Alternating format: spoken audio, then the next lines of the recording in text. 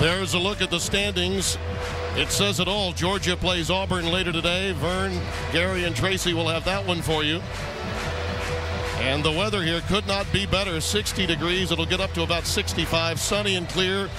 Wind will not be a factor for these special teams. And in his seventh season, Steve Spurrier, a seven time SEC champion, formerly with the Gators, where he made himself a Hall of Famer, and Will Muschamp, who grew up in Gainesville, moved to Rome, Georgia, was a walk on for the Bulldogs, but always dreamt of being the head coach of the Florida Gators as a child, now having his chance, and was mentored in many ways by Steve Spurrier coached for years under Nick Saban, obviously, as a defensive coordinator at LSU. Later went with him to the Dolphins and then on to Texas where he worked with Mack Brown.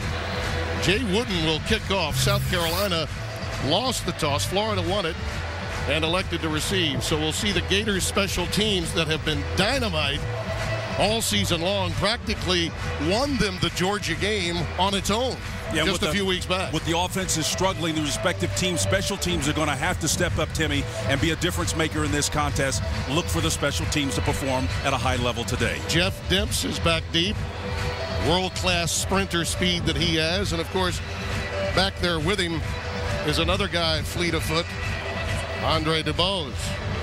And we do expect to see Chris Rainey today. This may be as healthy a Florida team as we've seen since the Tennessee matchup very early in the season, back yep. in week three. Both Demps and Rainey undersized, Timmy. If they'll hold up to this very difficult SEC season. they go with the sky kick, but it's taken by DuBose, and he's up to about the 33-yard line.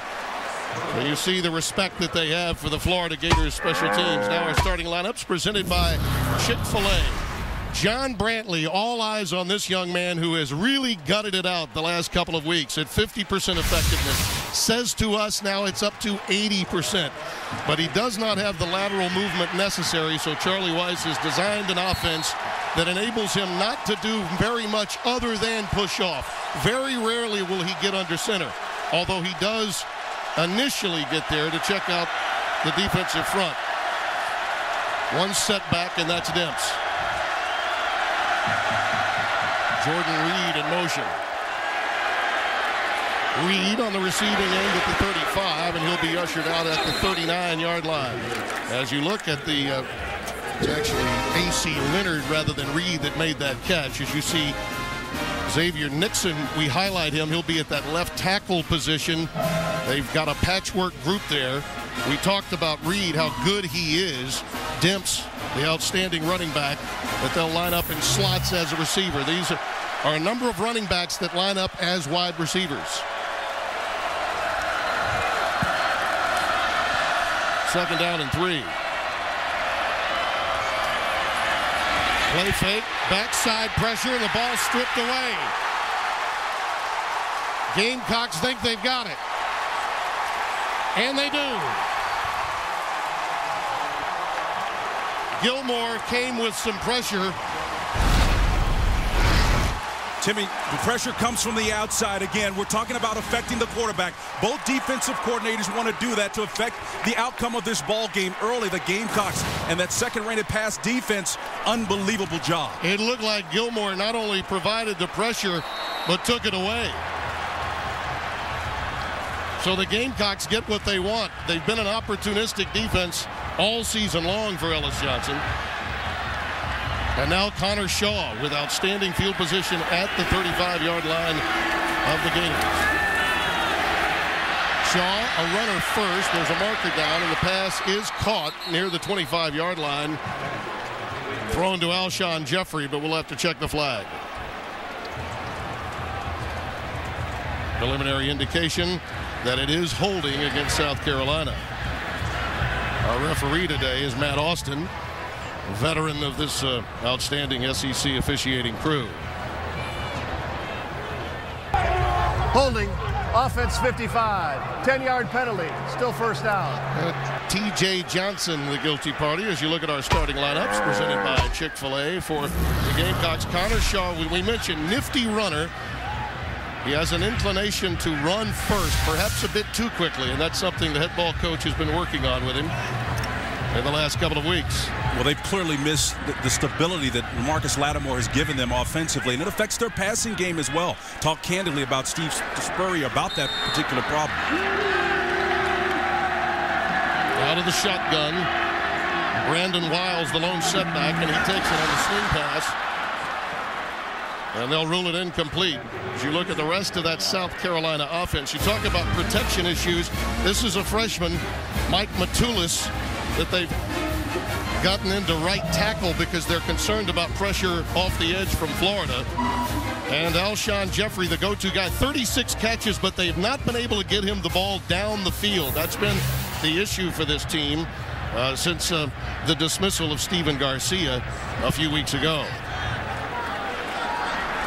To Alshon's credit, he's not gotten frustrated. They just want to throw it in his direction and let him go get it. Second down and 20. And a quarterback draw that's snuffed out quickly by the Gators. That defense is very quick. Slight of size up front as we look at them. Jay Howard, the redshirt senior, sort of the anchor for this team. Dominic Easley, also a playmaker up front. Linebacking core, smallish, but Jon Bostic is the leader of that team. Great lateral mobility for him.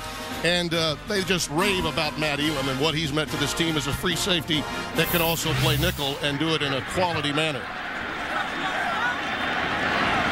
Third down and long. After the turnover, the Gamecocks have backed up. They struggled a week ago against Arkansas offensively.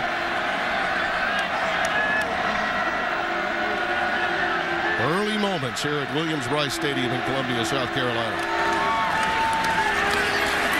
Shaw stepping up and again getting some pressure and finds his man. That's Jeffery along the sidelines. Just put it in his direction, Steve Spurrier says, and let him go get it. And he did right there complete for 14 yards. Well, a couple of things to look at. First of all, Florida just bringing three rushers upfield, and Shaw does a great job of navigating, finding that soft spot within that coverage. And on the back end, a nice, delicate pass just over the head of the linebackers into that little pocket. And you look at it from behind. Look at the pressure and the poise of Shaw as he delivers it on time. Just good enough to put that hand, the ball in the hands of an outstanding receiver. Well, it looks as though the head ball coach has decided to go for it fourth and nine. Wow. They bring Kenny Miles in. There's the lone setback. I didn't think about that. Well, this may have been just enough to uh, elect to get a timeout. Spurrier thinks better of it and says, let's talk about it. Just underway in Columbia. LG, as a proud NCAA corporate partner, presents great SEC rivalries.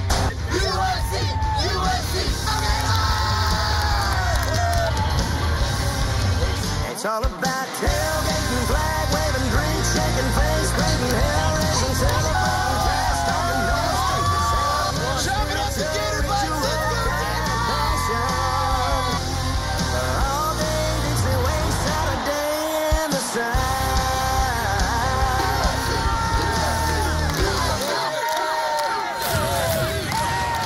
You look at the uh, rivalry notes that we have for you, the Game last year meant the SEC Eastern Division title for Spurrier. He got that game in Gainesville against Urban Meyer. The series record is 2 and 4, but some memorable games for Steve in his first season here in 05, and then a year ago to get South Carolina into the SEC championship game. Right away on fourth and nine, this tells you how important uh, this drive is call it fourth down and 11 rather than fourth and nine. So officially fourth down 11 out of the shotgun. Shaw steps up. Needs some help. And the pass is incomplete. May have been short of the first down anyway, but he was looking for some help. He wanted his receivers to come back and help him. Well, the coverage is, again, just rushing three, trying to affect the quarterback with coverage. Four men actually come on that play, so the back end comes up on the outside. You can see he's trying to work his way to the boundary to find and buy some time with his leg. One of the way Connor Shaw affects this offense. Ellington was the intended receiver, but even had he caught it, he would have been shy of the first down. Florida dodges the bullet after the turnover. We'll be back.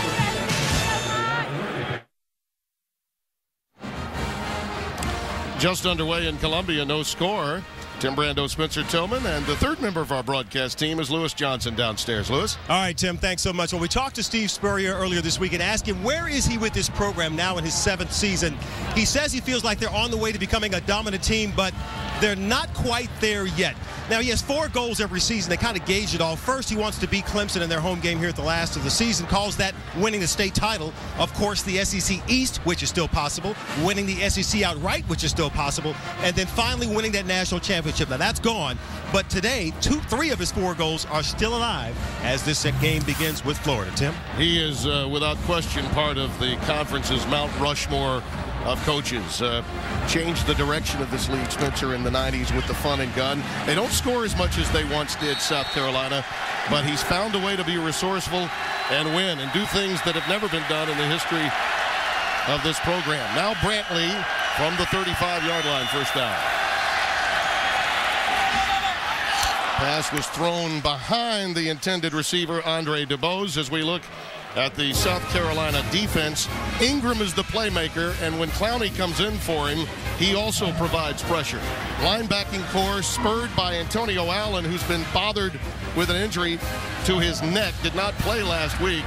The spur position is important. Swearinger is a good cover guy. Gilmore, Stephon Gilmore, perhaps their best cornerback in man coverage. Rainey comes into the game. Gators work with a slot left. It's raining. off the right side, and he's up to about the 40-yard line, a gain of three. John Brantley, young man, waited a long time for this chance. It hadn't come out exactly the way he anticipated dealing with the high ankle sprain. A fifth-year senior, you would expect to have more than this, but he doesn't have the complementary tools. At wide receiver, of course, it helps to have an inside running game, but he's making the best of a difficult situation. Watch, watching him in warm-up, I, I got to tell you, he's pushing off that high ankle sprain right ankle better today than he has to date. That pass, though, again under pressure, is thrown behind Rainey, and the Gators will be forced to punt. Well, again, it's the pressure off that weak side that's affecting him. Again, we talked to Dan Quinn and both defensive coordinators about affecting the quarterback on the respective sides of the ball. You didn't sack that opportunity, but you did get pressure there, Tim. We've had nine total offensive plays in the game thus far. Only three have actually gained yardage. Neither team with a first down. Ace Sanders goes back. And uh, Kyle Christie will punt it away.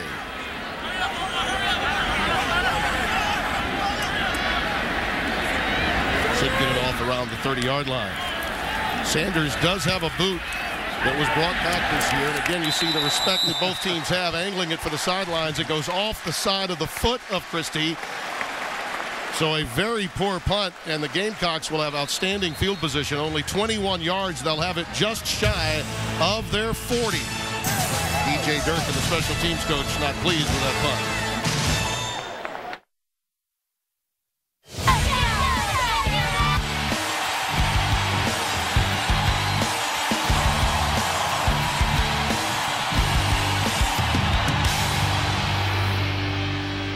A good old-fashioned rock'em sock'em start defensively. No score, and uh, you mentioned earlier, Spencer, that uh, Connor Shaw is coming off a bell ringing that took place in Fayetteville, Arkansas. Beckett got him off the backside, and uh, frankly, I didn't know if he'd be cleared for this game when I saw that hit. Well, it was a significant hit that came from that blind side. Without the significant running game, teams are going to be not reluctant to come off the edge and try to affect the quarterback with serious pressure. It's something they've got to contend with until they get that running game back on track. He has found Jeffery once but that's it. And they went steadily backwards. Penalties hurt them after they got the turnover on the plus side of the field a moment ago. And flags come down, premature movement up front. This should back up the Gamecocks even further. Like Rokevious Watkins and those guys on that left side moved prematurely. Prior to the snap, false start, 50 offense, five-yard penalty, remains first down. A.J. Cann right next to him. A Showtime original documentary, A Game of Honor, takes you inside Army-Navy football. Watch preview episodes of the film at cbssports.com slash honor. And for every video viewed this Veterans Day weekend, a donation will be made to the Wounded Warrior Project.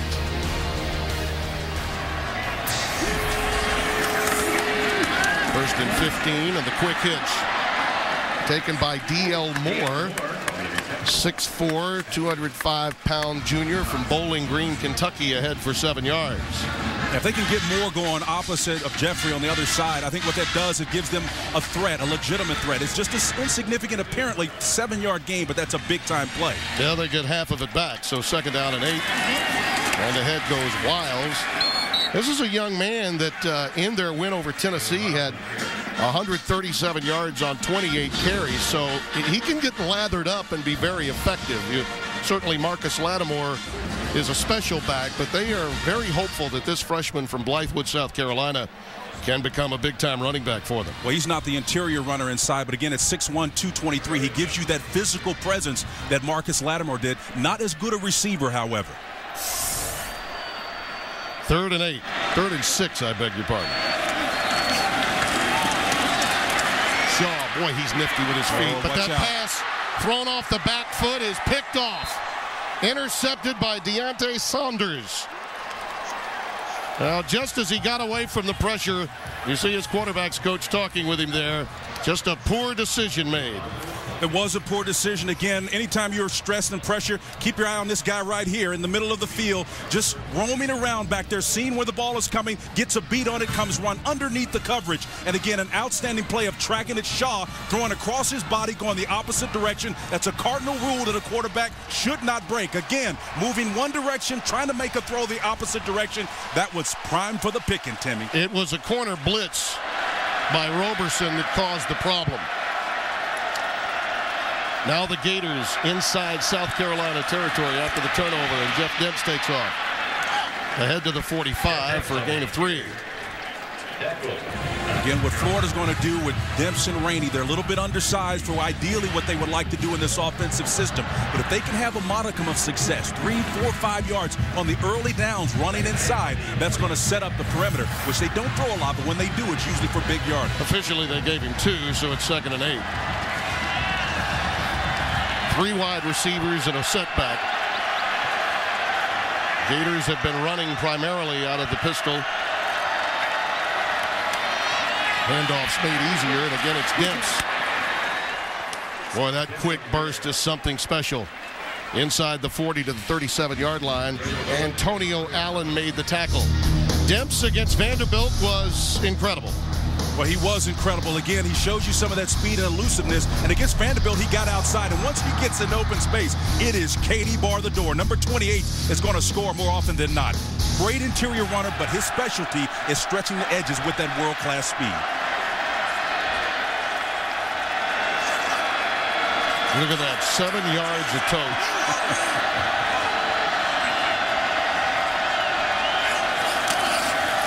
Brantley continues to feed and Fanning, and why not? Down the sidelines and another first down at the 22-yard line of South Carolina. That's a gain of 14. DJ Swearinger, the free safety, runs him out. Well, this is problematic for Ellis Johnson's defense because, again, he's coming right here on the boundary inside. Tough, nice reach action by the guards and the tackle. Cuts through the hole, has that ball seated in the proper hand on the outside, uses it, almost loses the handle on it, but keeps the head down and finishes that run on the big end. Not bad by God. It's about 170 pounds, Tim. Yeah, he kept it high, too, didn't he? Yep, he Made did. sure he kept the, the football high to the shoulder pad. Rainey is now in the backfield. And he'll take it right up the gut. Chris Rainey, what a cutback. Rainey is stopped at the one-yard line. Tim, this is not supposed to happen. You're talking about small backs exposing the interior of that defense of Ellis Johnson, the Gamecocks. They had no solution for this. Again, right up the middle, a directions called starboard side. To the right side, everybody's shifting and moving that way. But guess what? They come right back at them. See the starboard charge going the opposite direction of ultimately where the player is going to go? That's not what you want to have down here, much less by a back this small. Now they mark it down at the two. First and goal. Demps the setback. And he's tripped up. Great penetration by South Carolina. Sharrod Golightly went hardly right into Demps. He went with intention and purpose on that to disrupt it in the backfield. And again, when a third of your playbook kind of goes out the window down here, the best way to deal with it is be aggressive on the outside, which he was. Golightly with a tremendous contact and tackle. This has been, as we've said all year, an, opportunistic defense that Ellis Johnson has. 17 picks on the season, and without a power back, this is an area where Florida's offense can, at times, become stagnant. The big tight end is always a threat here, too. Trying to get to the edge again is Demps. Stopped behind the line of scrimmage again. You know, if you're watching at home, you're thinking, well, why can't they have success when they get down here in the red zone? Well, this is the restricted space. Everything goes outside. You try to get it bounced to the perimeter. There's nothing there because the field is shrunk. Everything happens much faster here. Let's take a look at the uh, Verizon red zone where the Gators are trying to get the job done as South Carolina tries to hold on.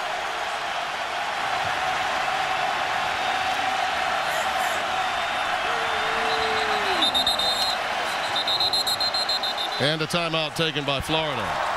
Timeout Florida, their first timeout of the half.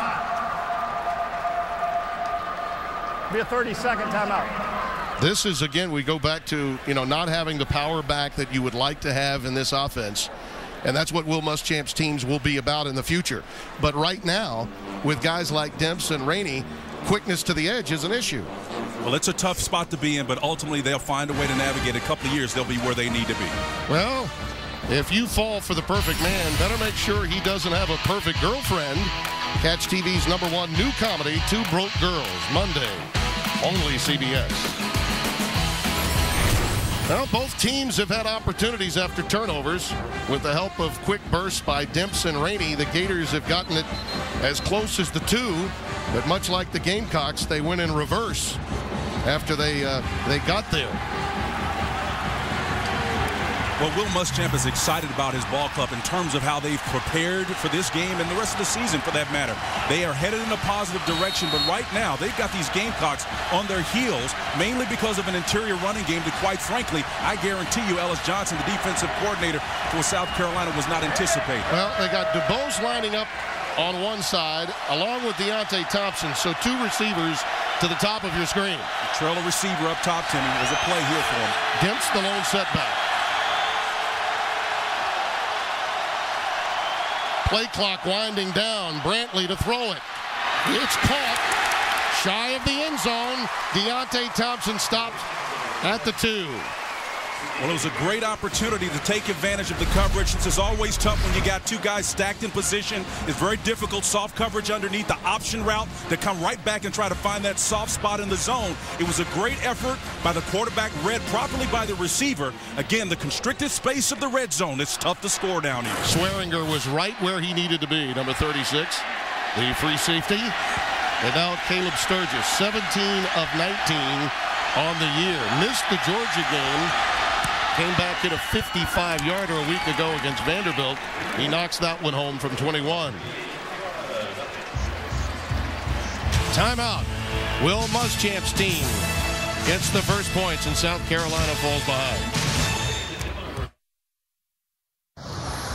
Each week, Sonic celebrates creativity in the SEC. Among the awards and achievements in Will Muschamp's office, there is one piece of metal that may seem slightly out of place. It's a titanium rod that was inserted into his leg after a high school injury on the baseball field. When the bones healed, he decided to frame the rod to have it serve as a reminder that anyone can overcome adversity. He later played safety as a walk-on at the University of Georgia and was named defensive captain of the Bulldogs in his senior season pretty obvious that the young coach had some swagger in his days with the Georgia Bulldogs, huh? And they didn't show all of it. I've seen that several times. He had a nice little move. He got a little Dougie in him, man. Yeah. He can move a little bit. He would be flagged today for such a thing. You saw the uh, scoring drive. Really, the the running of Demps outside and that quick pop inside by Rainey got them in position. But again, the inability without a power back, uh, Spencer, it was evidenced in that last sequence because uh, when you when you have to go to the edge to get in with your run game and you run out of terrain in the red zone, that's a problem. Yeah, I don't disagree with you, but again, they did have great success running the ball inside because they were effective uh, at, outside. So when you move that interior linebacker to the perimeter to uh, to deal with that pressure outside, the, the inside starts to open up, and that's what Florida exploited. Bruce Ellington, also the point guard on the basketball team here in South Carolina, and Stephon Gilmore back deep. And the boot comes down to Ellington. Nice. He has assumed. There are markers down behind him as he is taken out of bounds at the 40-yard line. 37-yard return, but you see the look of disgust on the head ball coach's face. It was a well-designed special teams play. It came back this direction. They had a nice funnel in there. During the return, illegal block in the back, number 40 of the receiving team. 10-yard penalty, first down. So that will back them up. Field position is such a concern in college football. I was talking with uh, DJ Durkin, the special teams coach for Florida, and the percentages, Spencer, of effectiveness for offenses once you get the ball beyond the 30-yard line to start a drive Mm-hmm. in college football, it's incredible. Yeah, no question about it. Talking to Steve Spurrier, he's concerned about special teams in the return game overall. Had a huge return against them against Arkansas last week, and again, he's trying to mitigate that as much as he possibly can. And penalties certainly doesn't help correct the problem.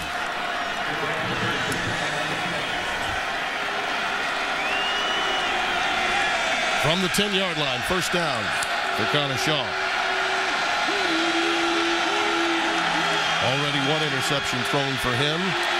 And uh, Brantley had a fumble off some pressure from the Florida defense. And there you, and you see the ability to run the football. He's the second leading rusher for this team now with better than 300 yards. He gets ahead for 10 right there. Yeah, that scheme helping it out right there. Steve Spurrier doing a nice job of going trips away. In other words, trying to track as much tension as possible away from him to open it up. And he's not a small guy, 6'1", 202 pounds. He's big enough to hold his own once he touches that ball and runs.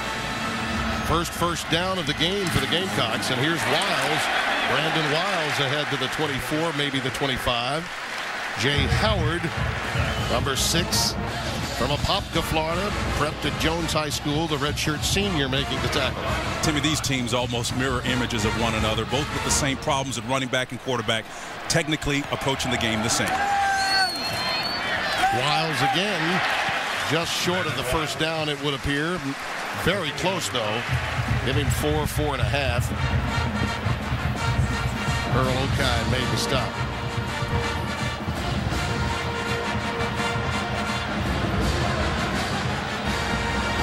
Third down, less than a yard. Wiles again. No, it's a fake, and here goes Shaw. Fooled me. And the Florida defense as well. First down at the 47-yard line. It's an 18-yard pickup. Well, the key is the formation. Get everybody headed the opposite direction of where you want to go. Shaw's coming back this direction here. Does a fine job of tucking the ball again and finishing the run. This was all by formation and design. Get all of that inside tension away from you. Again, you see everybody except the safety recognizes the ball is going the opposite direction. You won the numbers matchup on that one. Classic uh, read option play Yes. here. Wiles gets it, stopped shy of the line of scrimmage. May have gotten right back to the line. Dominic Easley makes the stop. Look at the South Carolina offense the first five games and then the last three. And again, you go back, there were issues for Stephen Garcia, but the one thing he could do was get the ball down the field in the vertical passing game. Yeah, but the absence of Marcus Lattimore is the reason why those numbers are precipitously down. Shaw stepping up. Now gets away as he's flushed from the pocket. What an athletic move. That's another first down. At the 42-yard line, you know, you look at that first progression and then make the decision to tuck it and run. In that case, though, I think uh, the head ball coach would say, good job, young man. Well, when you stay committed to the system long enough, the defenders have to respond to what you're doing. And that's exactly what Shaw did there. Attracted the defensive pressure up front. And as a result of their converging on the quarterback, he was able to make a miss, use his feet to get creative, and gain extra yards. Double tight end setup now for South Carolina with Rory Anderson coming in. Wiles with a cutback. He stopped at the 40-yard line. Omar Hunter making the tackle after a three-yard gain. You talk to Steve about Connor Shaw, he'll say, as only he could. Well, you know, we run a little read option for him. Make it happen. Give him some ball plays that he can work with. That may be the uh, true testament to the genius of Spurrier. Wiles is stopped, but we've got flags abound prior to the snap. Procedure, the preliminary indication. Before the snap, false start, 81 offense, five-yard penalty. Repeat second down. Tonight, the candidates square off right here in South Carolina. As CBS News brings you the Republican presidential primary debate. That's tonight at 8 Eastern, only CBS.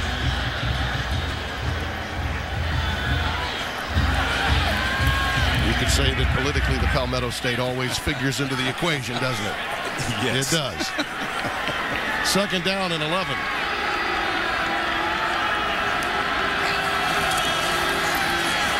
Backside pressure, but Shaw steps up. And the catch is made by Ace Sanders, number nine, the flanker, sophomore from Bradenton, Florida. We talked about Marcus Lattimore. There he is when that young man went down while trying to block. I mean, the, the gasp heard around this state was uh, incredible. And uh, with defenses keying on him, he almost had a 1,000 yards just over halfway through the season. That's amazing. Even missing some of the games he has, he's on pace to what he was tracking last year as far as rushing totals. Outstanding back. Third down and seven. Gamecocks uh, flank uh, tight into the top of your screen off the line. That pass is batted down and caught. That ball was tipped and then caught in the air by Justice Cunningham. Well, again, Dan Quinn, the defensive coordinator for Florida, is always talking about affecting the quarterback. And one of the ways you do it is you get your hands up in the air. Again, in the face. If you find out you can't get to him, just try to affect the quarterback. It's not always about sacks. It's about blocks. It's about pressures and things of that nature. That's how you determine the outcome of games. Sharrif Floyd blocked it, but uh, presence of mind by Cunningham to come away with the reception. And on fourth down, Spurrier is going to go for it again on fourth and two. Wilds the lone setback. Play clock winding down. He's going to have to take another timeout. Timeout, South Carolina. Their second timeout of the half. Be a 30-second timeout. Part of the situation with a young quarterback when you know you're taking a look at what the defense is giving you, and uh, there's some confusion, and there was. Well, Monday on CBS, Five O's turning up the heat. Hot case, hot cars. On a hot new Hawaii 5 Monday, only CBS. I'm digging Hawaii 5-0. You know, I have to tell you, though, I'm a Jack Lord kind of guy going back to the old school, man. Nothing like Jack Lord. Steve McGarrett. Oh, what I wouldn't best, give, what I, what I wouldn't give for the Moss.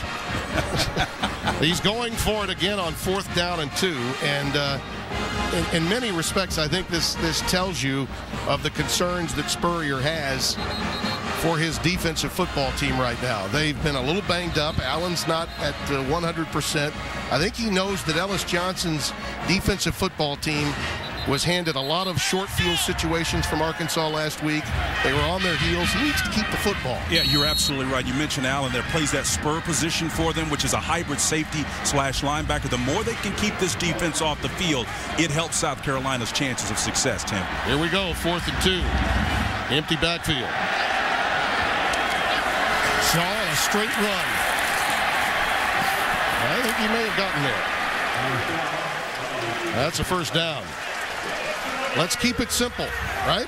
Yep, keep it simple, but you know what? It, it, you got to get those big heavies up front, and the guard play is what allowed them to do it. Both guards coming around pulling if blocked, meaning if you're not covered, you're scooping around, and they do an excellent job, does South Carolina, of getting some nice blocking inside there. McLaurin and company Go on that play. Carolina, come on. Go Carolina. 11th play of the drive. Shaw with 42 yards rushing on this drive so far as we come down to the final minute of the first quarter. It just popped right open, didn't it, for Wilds? Inside the 25 to the 24, Jaylen Watkins, number 14, made the stop for the Gators. So now you get a little misdirection action working to get guys chasing, one in one direction, a little counter motion. So second and four coming up. Alshon Jeffery time, one would think, as we get into this part of the playing field. They got him ISO'd up top and safety in the middle of the field to help and quarter help. Up at the top of your screen, number one, Alshon Jeffery.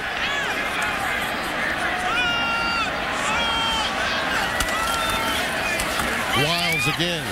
Nothing doing. Stopped by the interior alignment for the Gators. Dominic Easley, the first to make contact. Well, the Gators took advantage of uh, their turnover opportunity. The Gamecocks did not. At the end of the quarter, it's Florida 3 to nothing. We'll return to Williams-Brice Stadium after this message and a word from your local station. You're watching the Home Depot SEC on CBS.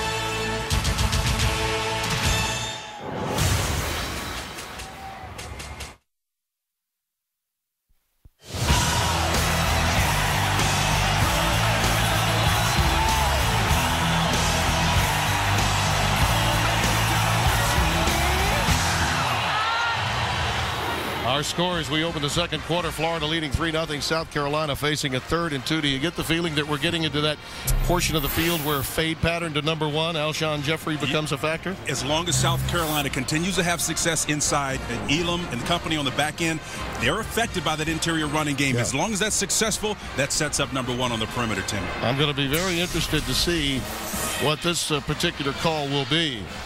Shaw has been very effective on the ground himself on this drive with better than 40 yards. Five runs, five uh, very effective ones for him. Rolling right, looking towards the end zone, and it's incomplete. Brandon Wilds coming out of the backfield with a wheel route incomplete. So again, four down territory yet again, but it does appear that maybe we will have a field goal try here. It was funny. I was watching tape last night of that particular play, and Arkansas almost busted one wide open on South Carolina. Yep. So they're all both, co both coach not uh, immune to picking up a play from the opposition from time to time. Jay Wooten will attempt the field goal for South Carolina. This one will be from 40 yards. Out of the hold of Seth Strickland. It may be to the right. It is. No good. Wide right for Wooten. Opportunities missed. A six-minute plus drive ends with nothing for South Carolina. Head down, ball down. Technique looks like it was good. Just pushed it right.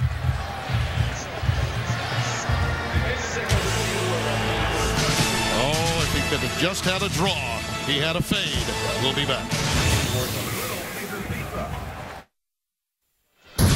The year was 2005, and for the first time, the head ball coach faced Florida. The Gamecocks jumped out to a 17-point lead in the second quarter. The Gators stormed back, and a Billy Latsko TD cut the lead to 20 to 19. But a long Sidney Rice completion set up another Gamecock score, and it was Steve Spurrier that celebrated in a win over his old team. And here's Steve. Um, I get the feeling in talking with him as we did yesterday that there's a lot of ball games in front of the ball coach, don't well, you? Yeah, he likes the fact that, that, he can achieve a lot of first while here. You're talking about back-to-back -back victories against the likes of Georgia, Tennessee, and Florida. That's something that's never been achieved here, and that's, again, one of the many firsts that the old ball coach feels within his gun sights. Squandered opportunities so far in this game for his offense. John Brantley has Chris Rainey behind him on first and 10. Rainey set sail to the 25-yard line. Shaq Wilson, 54, the middle linebacker, junior from Jacksonville's first coast, made the stop. They may be undersized, but I am impressed with Chris Rainey and the position that Charlie Weis, the offensive coordinator, has put him in, in this pistol formation. Good success in the interior. Then all of a sudden, when you affect the defense, he's able to bounce it to the outside. And once he gets out there, we clearly know he's got world-class speed. That old saying, though, if you take away the speed, you take away the effectiveness. They're they're really happy to have him back today. As we mentioned at the top of the show, this may be as healthy as their three top weapons have ever been since the Tennessee game in Week Three. Beautiful. That, and there is Jordan Reed. And this is a guy that you expect to get the ball a great deal more. He is an elite athlete on offense. An 11-yard pickup just becoming really uh, accustomed to playing the position. Charlie Weis said to us he'd never played tight end, and his ball skills are already as good as any he's ever coached, and that's uh, that's saying something if you're Charlie Weis. Well, first of all, he benefits from Charlie Weis's creativity on that particular play. That 11-yard gain made possible by affecting the defense. You see all the number of bodies around the line of scrimmage on those first and second and short uh, opportunities made up by the inside running game. First and 10 from the 37. Brantley with pressure. Pass is incomplete. In and out of the hands of Frankie Hammond. Let's go back to the studio for a John Hancock update. Adam Zucker. All right, Tim, thanks. Number two, Oklahoma State trying to stay in that championship march. They're in Lubbock, and Brandon Weeden setting a new school record with his 67th touchdown pass to Isaiah Anderson. They score quickly. A fumble recovery for a touchdown on the ensuing kickoff. It's 35 0 as we send it back to you, Tim and Spencer. All right, thank you, Adam. Don't get too comfortable in there. you did a nice job, though, Tim. Okay, eh? don't, don't go Wally Pipp on me. Second and ten.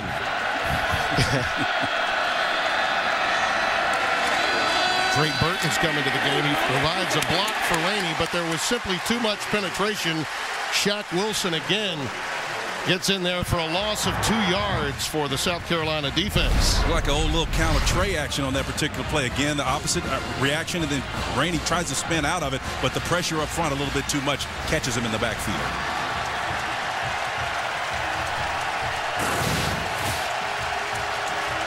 This crowd uh, very active. An undervalued uh, fan base here in Columbia. This is one magnificent location for college football. Always has been.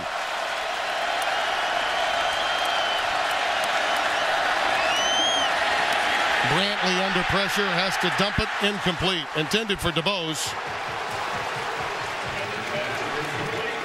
And a very good defensive sequence for Ellis Johnson's team. A lot of pressure. Melvin Ingram, he's a he's a boatload to handle. Well, the pressure came on the games and the deal here from the outside. You can see the games cause the effect on the quarterback. Again, another of the great ways that Ellis Johnson is finding a way to affect the quarterback. He got Jadeveon Clowney Absolutely. unleashed on that play. Ace Sanders is back inside his 30-yard line. As Kyle Christy will punt it away.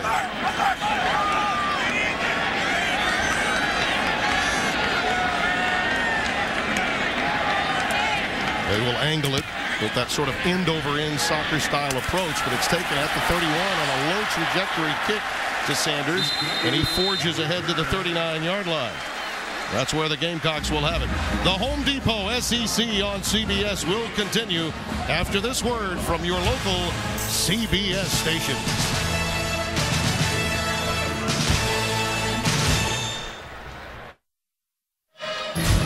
We mentioned it earlier, but it was on October the 15th that sophomore tailback Marcus Lattimore, while blocking for uh, Wilds, was injured and just rolled right over that knee against Mississippi State.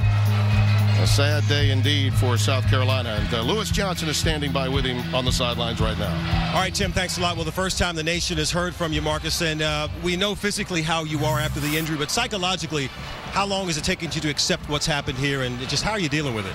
Honestly, I, it took about a week. You know, just to realize, you know, my season is over. Right. But I mean, there's nothing I can do about it. You know, I help help, help my head up high and um, just getting ready, get get get the rehab. Now, you looked a little busy here a few moments ago. You got a young running uh, freshman running back, Brandon Wilds. How are you helping him? How's he doing? Oh, he's doing good. I, I, believe he's doing real well. He had 140 yards his first career start. So, I mean, he's, he's doing good. And um, the main thing with him is pass protection. Everybody sees he's a great runner. But, um, you know, the main thing about him also is, you know, psychologically. Make sure he's comfortable and trusting his abilities. All right, Marcus, we know you're scheduled to have surgery next week. We wish you the best on that and your recovery and look forward to seeing you back out here on the field, okay? Thank you. I really appreciate it. All right, Tim. Great young man. And uh, Bruce Ellington, by the way, was in the Wildcat formation at quarterback on that play, went ahead for three yards. But uh, in, in, many respects, Lattimore coming to South Carolina, being a part of this program, has enabled Steve Spurrier to take the Gamecocks to places they've never been. That's right. Along with Clowney and other great talented players in the last couple of years, they put this program on an upward trajectory. Ellington again out of the Wildcat. And he's head to the 43-yard line. It's been a rough offensive start for the Gamecocks. Well, first of all, it's about success, and that means you got to move the chains, and that's something they haven't done. Stopped on a key fourth down opportunity there due to pressure, and then, of course, the interception on the back end, an ill-advised pass, and then the missed field goal, Timmy. This is a game about special teams play. You got to get those chip shots. As you said, it was the draw that got it. look at the penalties, the missed field goal, and the pick to go with it. Third down and four coming up. They stay with the Wildcat for the third straight play. Ellington will be playing point guard for Darrin Horn in January. And there's the quick pitch to Jeffery. Boy, with that length of his, he's close to a first down. He's about a half yard shy, it would appear. But the way things have been going, uh, one would suspect that he has an opportunity to go for it yet again. Jeffery, with that reception, sets the all-time South Carolina receptions record in the history of the school. That's the most receiving yards that he's that anyone's ever had yeah, here in Columbia. Kenny McKinley passes him, and that's tall company. Yes, it is. And on fourth down and short, Kenny Miles gets it ahead, and it looks as though he's got the first down. Got the uh, right foot spot, and that's always a good thing from the linesman. Watkins came up to provide the tackle for Florida. Alshon Jeffery, most receiving yards in school history, passing Kenny McKinley. And uh, I think there have been some really good receivers here through the years, going back to the days of Sterling Sharpe. Yeah. Todd Ellis was throwing him the football. Todd, now the radio play-by-play -play voice and uh, practicing attorney here in Columbia, South Carolina. He's right behind Sidney Rice also for receiving That's touchdowns. Right. With 20 now, Rice with 23. Joe Morrison was the coach in those days when Todd Ellis was playing. The pass caught by Kenny Miles. Jaye Howard makes the stop. But Al Alshon Jeffery has been doing it mostly with quick screens and hitches this season. Incredible thing, though, he's been doing it without the benefit of a running game to affect defenses, and that's outstanding. You look at those long-range opportunities, those passes deeper than 15 yards, you don't see them there. It's because of the lack of the running game. Excellent job in spite of that. Second and five with the trips receivers to the top of your screen and Jeffery at the bottom.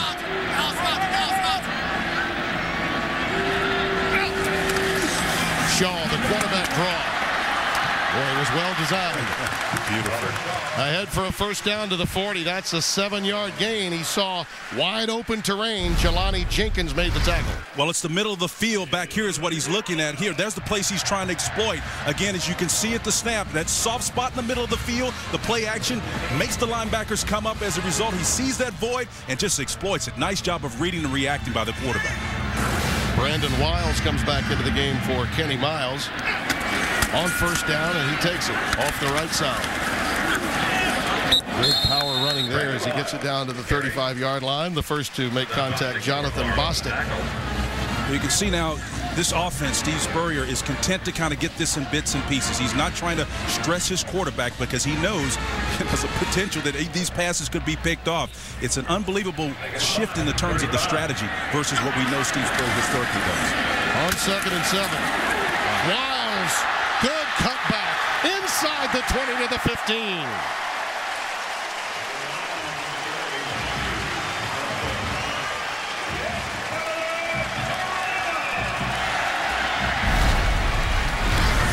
Stretch play, beautiful job, first of all, of stretching it to the boundary as far as he could.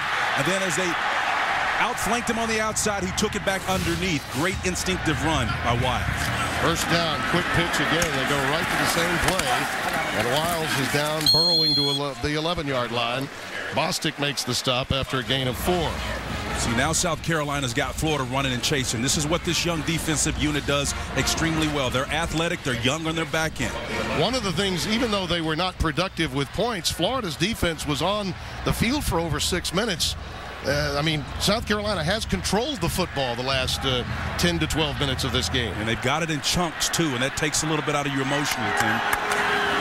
Second and five, it's Wilds again.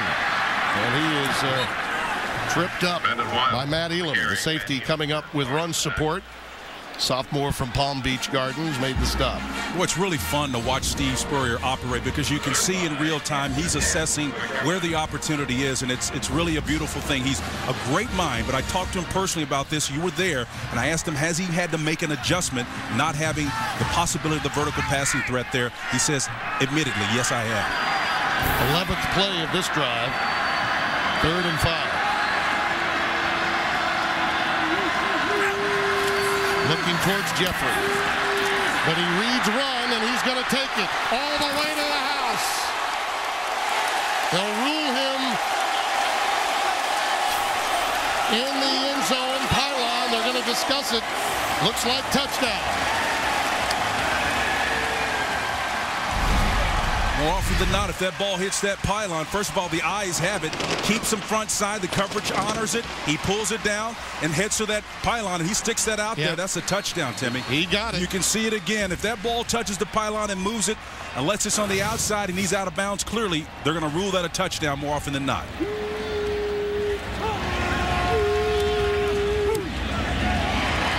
10-yard touchdown run for Connor Shaw, and the series began with Bruce Ellington running the Wildcat. But the wild runner was Shaw, and it's 7-3 Gamecocks.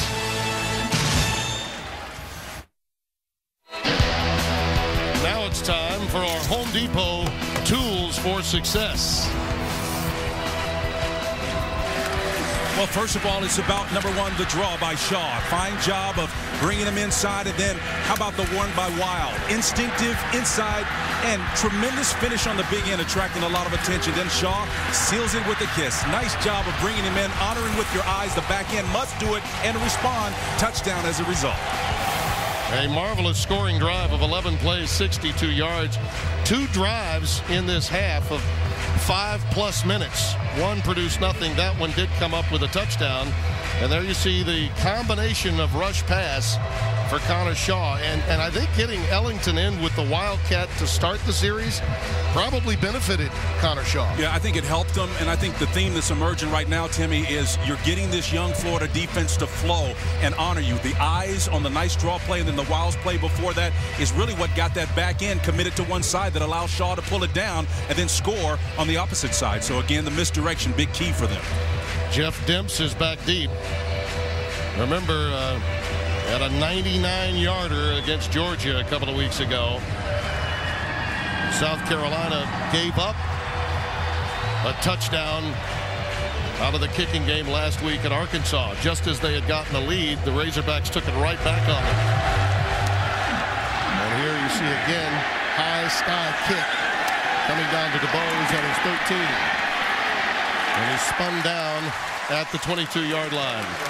Well, the tragedy in State College, Pennsylvania has been the dominant story not just in college football, but across the nation this week. Yeah, and it breaks my heart, Timmy. I would just say this. It's, it's a difficult thing for sure, but to advance this story, all institutions that have the tradition and the legacy should be circumspect at this point in time. They have the most to lose, and so the temptation to cover these types of things up is the greatest at those institutions.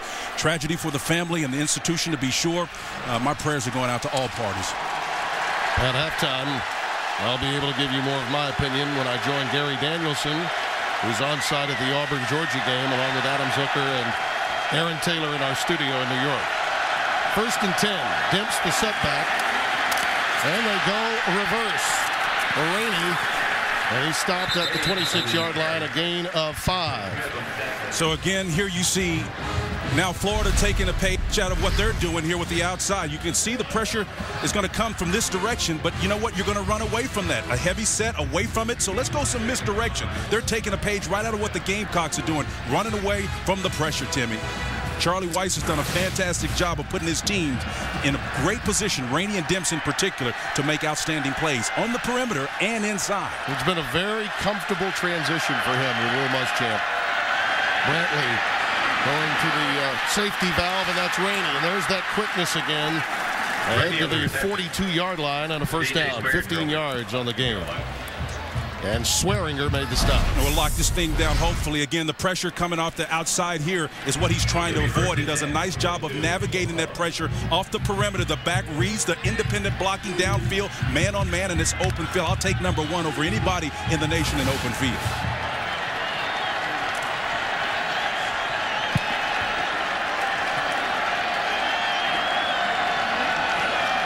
Deonte Thompson in motion, and it's Demps bouncing outside and then cutting back ahead to about the 46, maybe 47 yard line.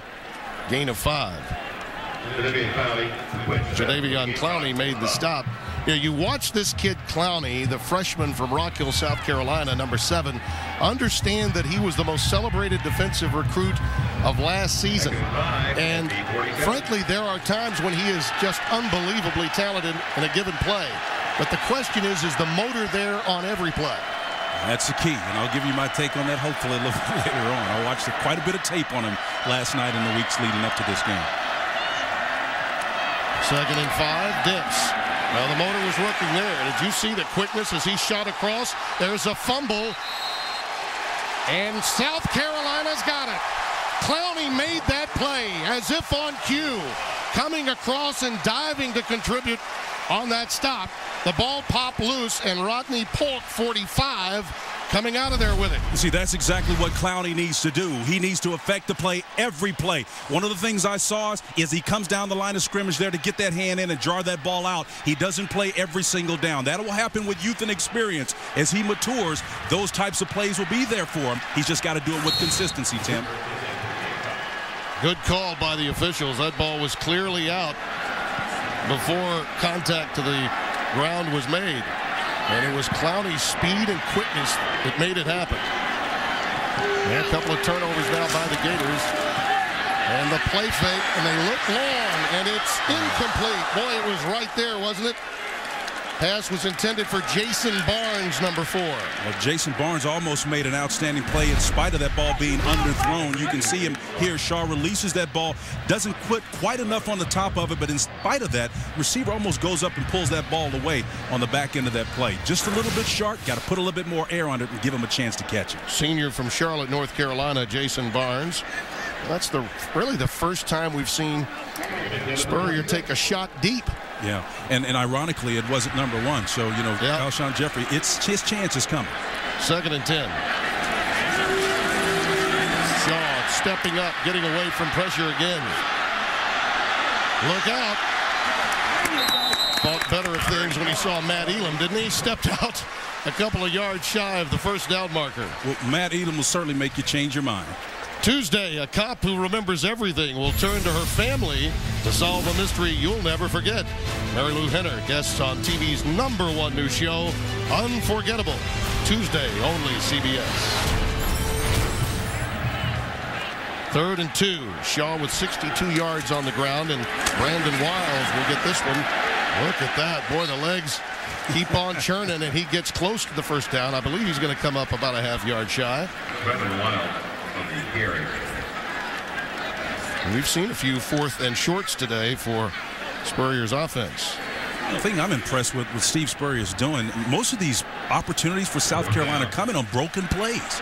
I mean, again, you're conceding the fact that you're affecting the defense, but you hope that your quarterback or what you design can have a positive outcome. If it doesn't, Shaw's been able to create in spite of that.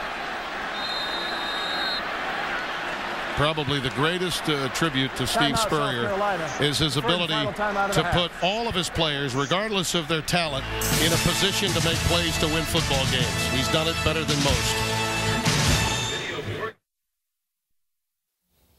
Adam Zucker in New York coming up on the Geico halftime report. It is the first time in 46 years that Joe Paterno is not the head coach of Penn State. Interim head coach Tom Bradley leading the Nittany Lions out for senior day. A look at some of the emotional pregame scenes. Nebraska has kicked a field goal to lead 3-0 late in the second. We'll discuss the Penn State situation at halftime. Now back to Tim and Spencer in Florida and South Carolina.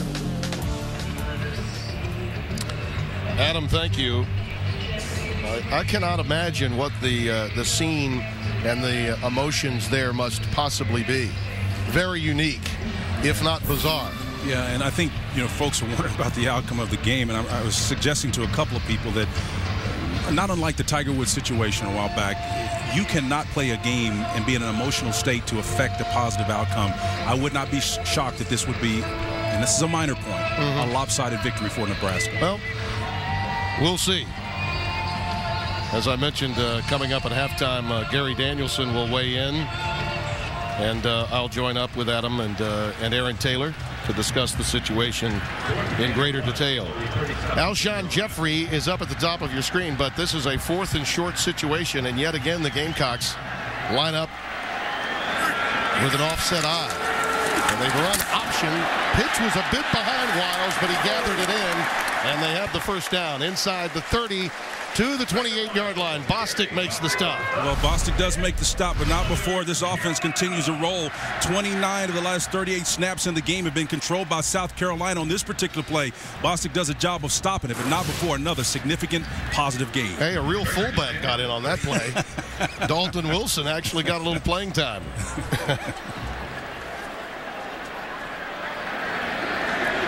First and 10 with Wilds, the lone setback. They get out of the shotgun.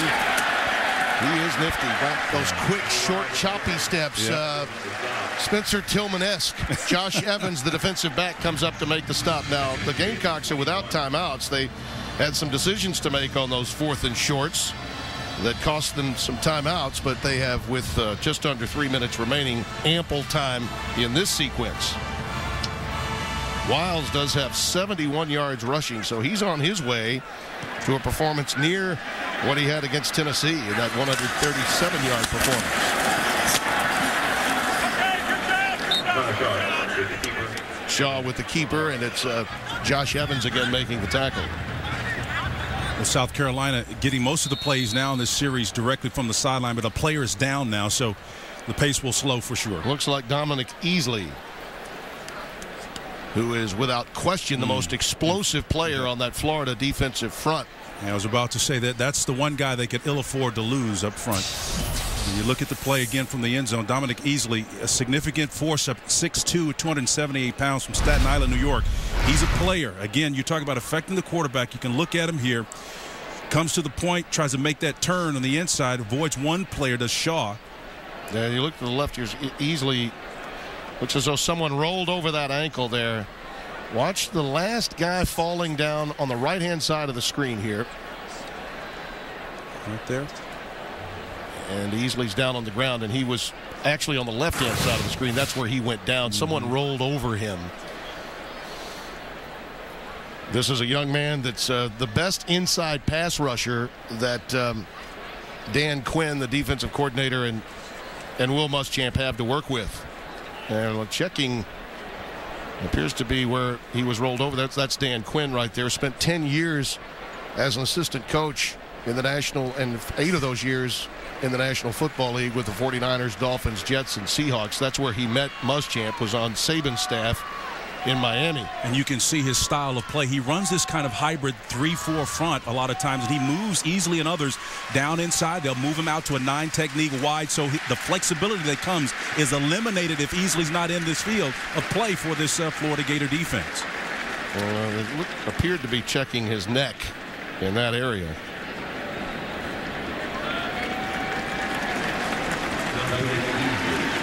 And then maybe his ankle as well. I think he they rolled over him as he had hit the turf. But he uh, is going off under most of his own power, so that's a good sign. Thursday on CBS, a Cold War spy returns for revenge. Don't miss the new hit drama Person of Interest. Thursday, only CBS. You know, South Carolina clearly taking control of this game, and I think a stat that probably points to it better than most. You look at their, their third down opportunities. This is the ninth here. Six of them, Timmy, five yards of less. They've been impressive. He looks pretty woozy. Yeah. They were checking the back of his neck, and um, I'm sure there's great concern over there. We find out more, we'll let you know. Third down, and a yard to go. Brandon Wilds, the lone setback.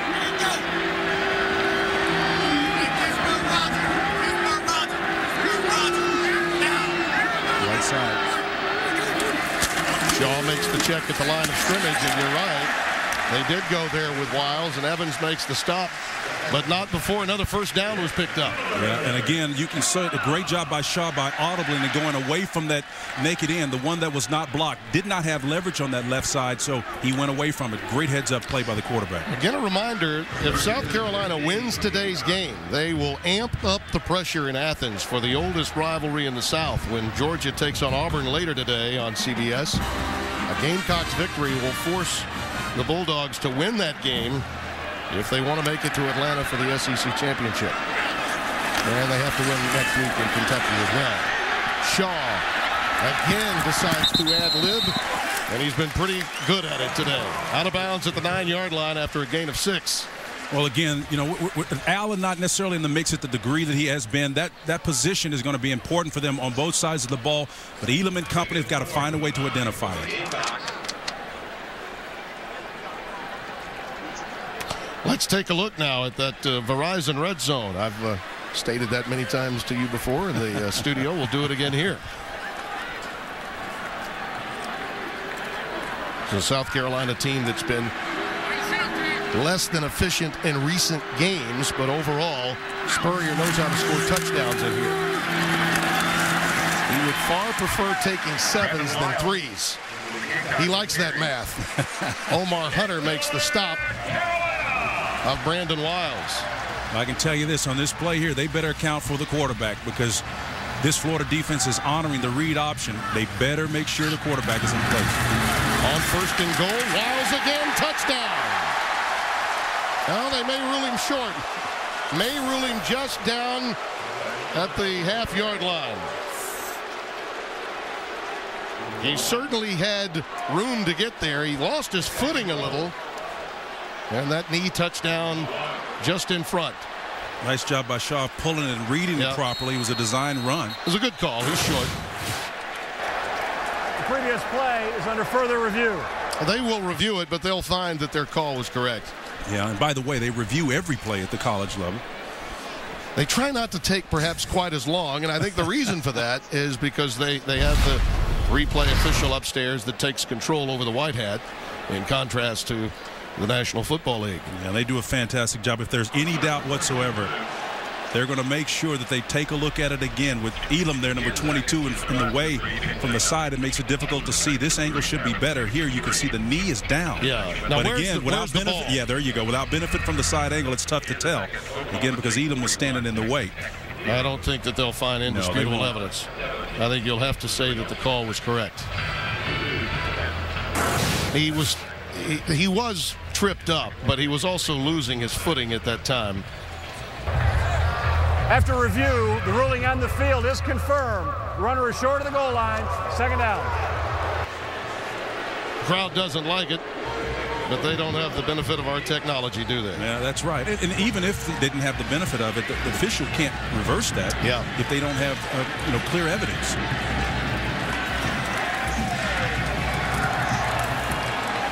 Second down and goal, 43 seconds remaining, but the Gamecocks without any timeouts remaining. And that figures into the equation here from a play calling standpoint. I'd pass it right now, Tim. Wilds the lone setback. Shaw takes it himself. Touchdown. Or run it.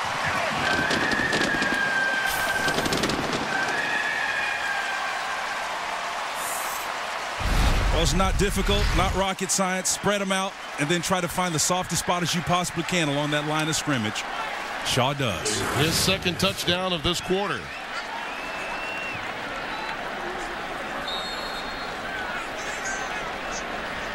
Jay Wooten in for the extra point.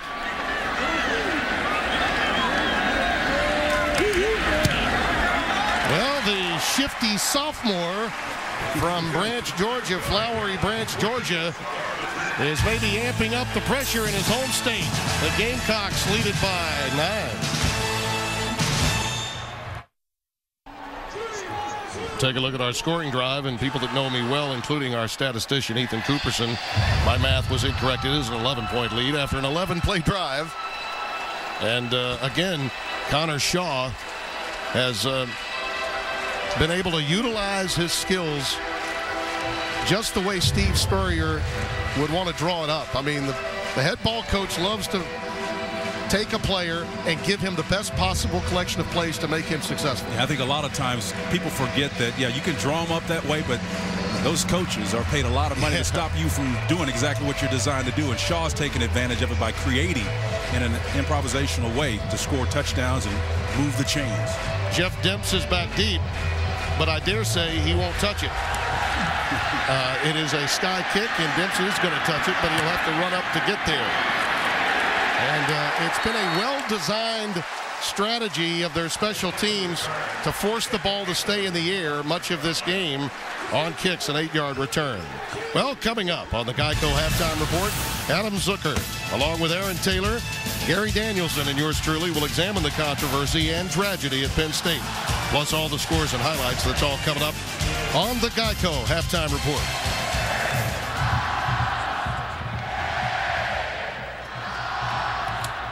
John Brantley hoping for a, a breakout game of sorts today. Hasn't gone the way that he would like. He'll take a knee. And there's a flag down on the field, though. They were ready to sprint to the locker room. Illegal substitution on the offense. 12 men in the formation. Five-yard penalty. Still first down. For the record, that that is happening a bit more this season. yes, they did get rid of the illegal participation call. That's a thing of the past, but that 12 men uh, situation jumped up and grabbed Nick Saban at an inappropriate time in overtime in the game of the century.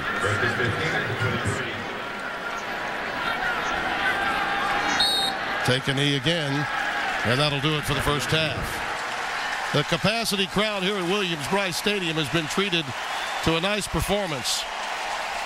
Brantley exchanges pleasantry with the opposition, and they head to the locker room. 160 yards rushing for Connor Shaw, two rushing touchdowns in this game. He has been dynamite. And Lewis Johnson is standing by with the head ball coach. All right, thanks so much. Well, Coach, I thought we'd be talking about the mistakes and miscues of this first half, but then Connor Shaw comes around. What do you make of it? Well, Florida's they play a lot of deep zone. Uh, we don't have much throwing room down there, uh, but fortunately we can run the ball. So uh, that's that's that's the game plan if they you know play that deep zone. If our defense is playing super, and uh, we just got to keep playing two more quarters and not give them anything. All right, thanks, Coach. All right, thanks. Tim. That's the end of the first half. Our score 14 to 3, South Carolina. Now let's go to Adam Zucker in our New York studios. Adam. Well, coming up on the Geico Halftime Report, Aaron and I will be joined by Gary Danielson and Tim Brando to talk about Joe Paterno and the Penn State scandal after this word from your local station.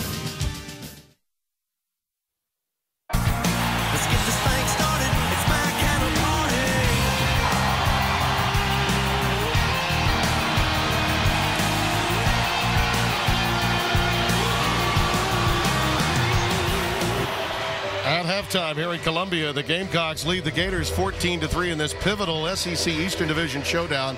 Tim Brando, Spencer Tillman, Lewis Johnson. The Connor Shaw story 35 of the last 45 plays. Yeah. South Carolina had it. They get the ball to start the second half. That's the story of the first half. The unscripted production from the quarterback position. Uh, Connor Shaw was absolutely outstanding. The draw play really comes to mind. And when you look at him, he sells it. He sells the eyes, everything.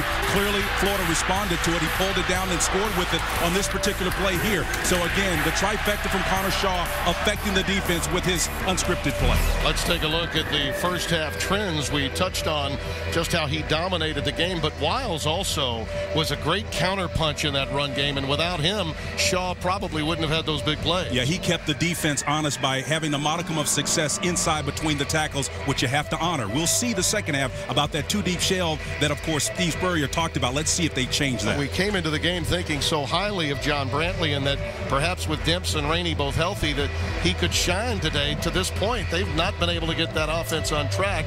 And I know Brantley feels better. He just can't find open receivers. I think the athleticism of this young Gamecock defense is really what's been curtailing that success early on. But Demps and Rainey did have success early on on the boundaries and the perimeter. But since that time, inside, it's gone dry for them. And as a result, they don't have the breadth and width of their offensive production uh, available. Remember, it's been over a month since this football team, South Carolina, has gotten to play at home. I think they've gotten a little adrenaline from that. This return from Bruce Ellington is beyond the 30 to about the 33-yard line. So a 25-yard kickoff return for Bruce Ellington, who's run a little wildcat as well. You look at the first half possessions, the Gamecocks could not take advantage of a short field after getting a turnover early on. Lost the ball on downs, then the pick. And after the missed field goal, uh, they decided to uh, let Connor Shaw take care of business on the ground, and that's really been the story to this game. Yeah, the one thing that jumps out with that stat, it's the mistakes that determine big games, and this is a big game, particularly for South Carolina. Wilds beyond the 35 to 36, and then they gain tackling. Well, the whistle did blow, and now a little anger coming from Easley. He may be in a bad frame of mind after what happened to him with that injury late in the second quarter. A gain of four. No flags. Well, it's a short yardage play, and again, the nice little zone read in the middle. Guys pushing him back. Again, this is going to happen from time to time, but that's just guys being aggressive to the point. The little push near the end of that is what instigated that problem. Second down and six. Wilds remains in the backfield. We'll take it again. Just short of the first down by about a yard. He picked up five. Tripped up by Jonathan Bostic. Well, the vision of Wilds is he finds those little voids on the backside just to the left of where the hole was intended to go. Again, this is reading, reacting, getting it from the running back position and quarterback spot. I, I really believe that uh, Steve Spurrier went to school on what uh, Mark Richt and Georgia did. They, they ran it right at Florida. That undersized defensive front having a real problem stopping South Carolina on the ground. Now, on that keeper, he may have come up a little short. Jonathan Bostic was able to get some uh, some surge and maybe stop him short of the first down. So yet again, another fourth and a yard, or maybe fourth and less than a yard, coming up for the Gamecocks in their own territory. One of the things we're going to keep our eye on, I don't think South Carolina is going to have the success running the football this half that they did last half, mainly because Florida has now come out of that two-deep shell that Steve Spurrier alluded to right before the break, allowing one more man to come up around the line of scrimmage, so Florida in a better position to stop the run. They're going to punt it away. Joey Scribner Howard comes into the game, averaging 39 per boot. And back deep. The Gators at his own 10, that's De'Ante Saunders. Markers down. It's a short punt, and the bounce is a Gator one. And it'll be down to the 30, but we do have a flag down. So we'll check that out. Could be good field position for Florida for their opening series. And a break for them, considering that uh, South Carolina had a third and short and could not convert a first down with decent field position. And all important in a game like this where, again, you're just a couple scores away from making it happen. Yep. Penalty apparently against uh, the Gamecocks. They may have to do it again.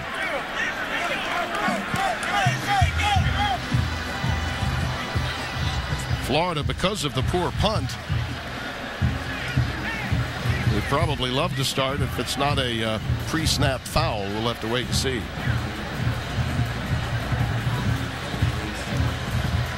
Only a 27-yard boot, so one would think the Gators may have nullified, said, uh, we declined the penalty. We'll take it right where we've got it.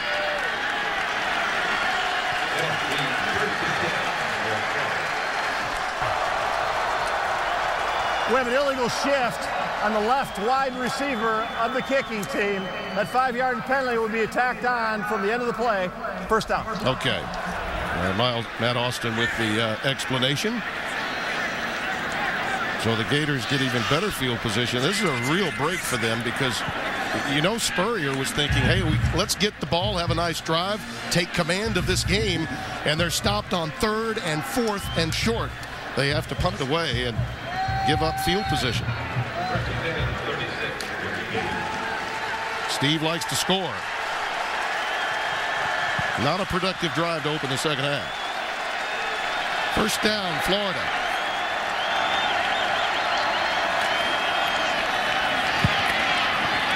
Rainey in the backfield. He gets ahead to about the 40-yard line. Call it a four-yard pickup.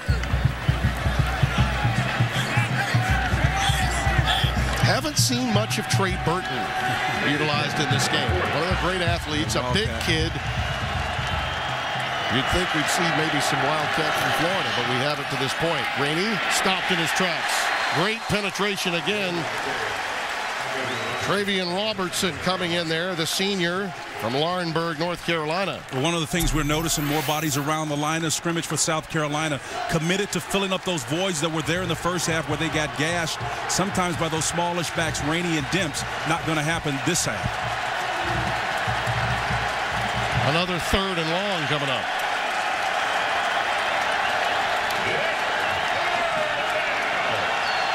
They're on their feet in Columbia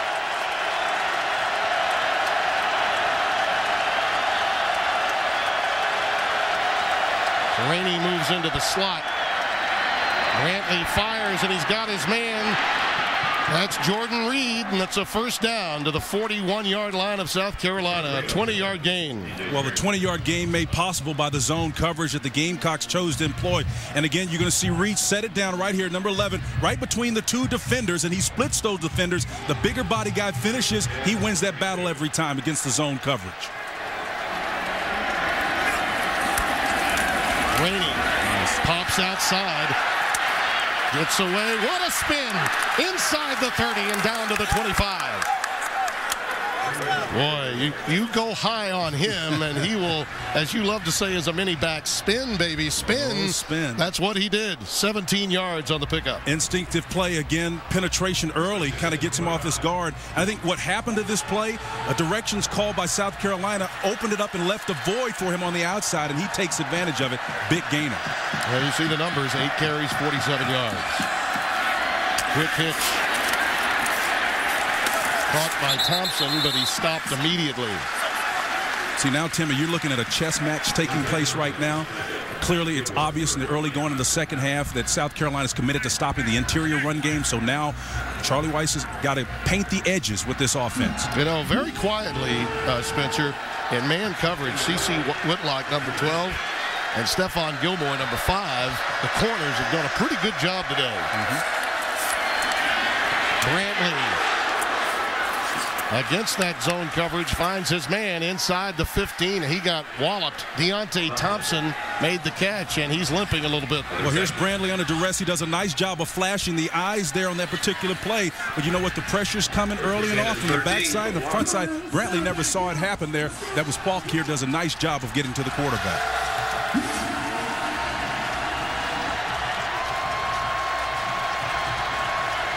First and 10 with the ball at the 13.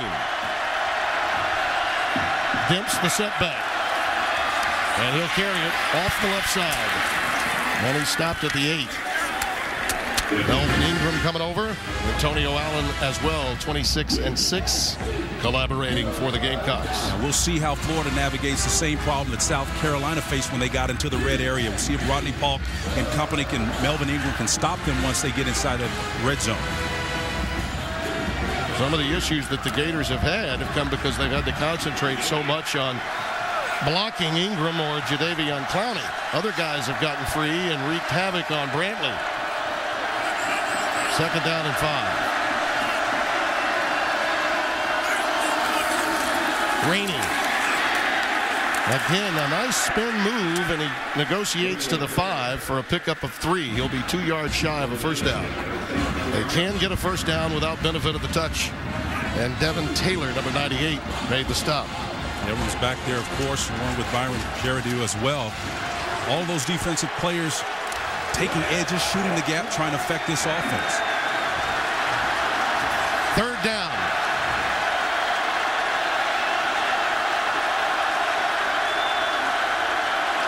Mm, left, left tackle. Movement. And a flag. Xavier Nixon. Before the snap, false start. 73 offense. Five yard penalty. Still third down. Xavier Nixon, the junior from Fayetteville, North Carolina, moved into the starting role. With Patchan playing right tackle for Chaz Green, who's been a little banged up. Now that backs the Gators up to the 10-yard line. Well, Xavier Nixon's outside there on that left tackle spot, and he's the furthest away from the quarterback, so it's harder for him to hear. He's going to get even noisier now that they've jumped off sides. He's got to be careful, or rather a procedure penalty. He's got to be careful. Yeah, Listen. Maybe thinking more about a shot to the end zone now than you were on third and two. It's now third and seven. Brantley with room finds his man, but falling down was A.C. Leonard. He had lost a little traction and was beginning to fall as he made the catch. And again, Swearinger, DJ Swearinger, the junior from Greenwood, South Carolina, was right there to pull him down. Swearinger showed tremendous closing speed on that play. Again, what looked like a, not a catch, but also plus yardage after that. Swearinger right there, Johnny on the spot to keep it limited. Sturgis 18 of 20 this year in field goals. This one from 24 yards out, and he boots it through.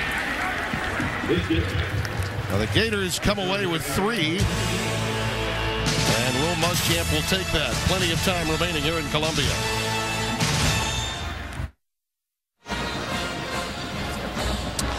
The scoring drive for Florida, 10 plays, 58 yards, 526 off the clock culminating with the Sturgis field goal. Brantley was 4 of 4 on that drive. You look at uh, John alongside uh, Charlie Weis.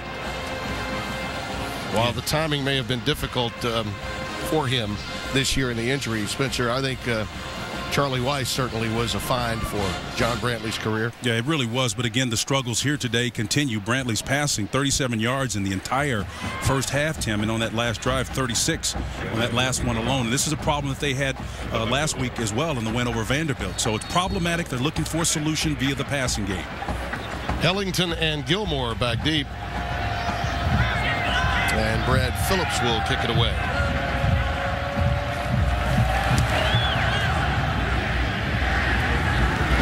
From his two.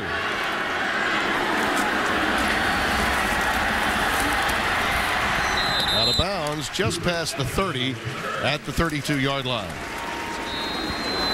That's where the Gamecocks will have it with better than seven minutes remaining in Columbia.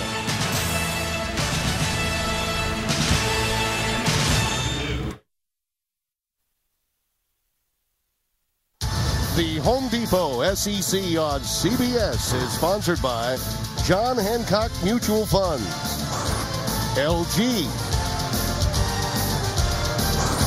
Enterprise Rent-A-Car, and by Bud Light. Here in Columbia, South Carolina, the Gamecocks lead at 14 to 6. Now it's time for our AFLAC trivia question. Who is the only University of Florida student athlete to win a national championship in two sports? That's easy. Okay. Do we, we get a chance to answer that? Maybe later. Okay. May, All maybe right. later. You watch Vernon Gary enough to know that, don't you? Are you watching those I other games was a when we're trick in the question studio? because it was so easy. Connor Shaw leads his troops back out onto the field. You see the uh, discrepancy for Florida in time of possession. I, I thought that was key. Even when South Carolina didn't score, they had a six-minute drive, and then they followed that up by dominating really um, 35 of the last 45 plays of the first half.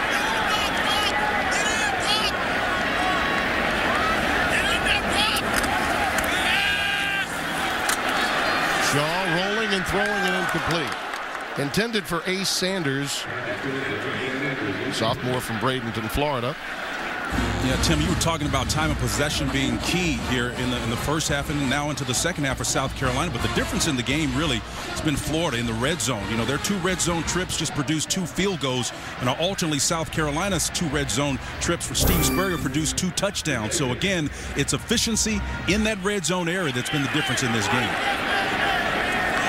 Miles the lone setback on second and ten. Uh-oh, that's going to be a flag over the back. Jaylen Watkins, the left corner, a bit prematurely went through him on the backside. Pass interference, defense number 14.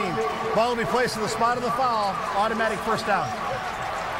Back judge is going to catch this every time. Jaylen Watkins here, number 14 in the back. You can see him. He closes on this ball, but he wraps that right arm around the receiver. They're going to catch that every time, Tim. Sanders was the intended receiver. he knew it was coming. From the 43 first down, they go with an I set this time. Dalton Wilson, the fullback. Back to that two deep shell now. Boy, that was a hit. How about that hit from Watkins? he took it out, getting the flag, lowering those shoulders and just going right into Kenny Miles. Yeah, well, that's the thing you got to do. He, he nailed Miles on that play, but when you're playing a two-deep shell, you better make sure you make every tackle because you're playing essentially with one less man around the line of scrimmage because you sacrificed it with that deep safety. So a sure tackling key to making this cover two shell work.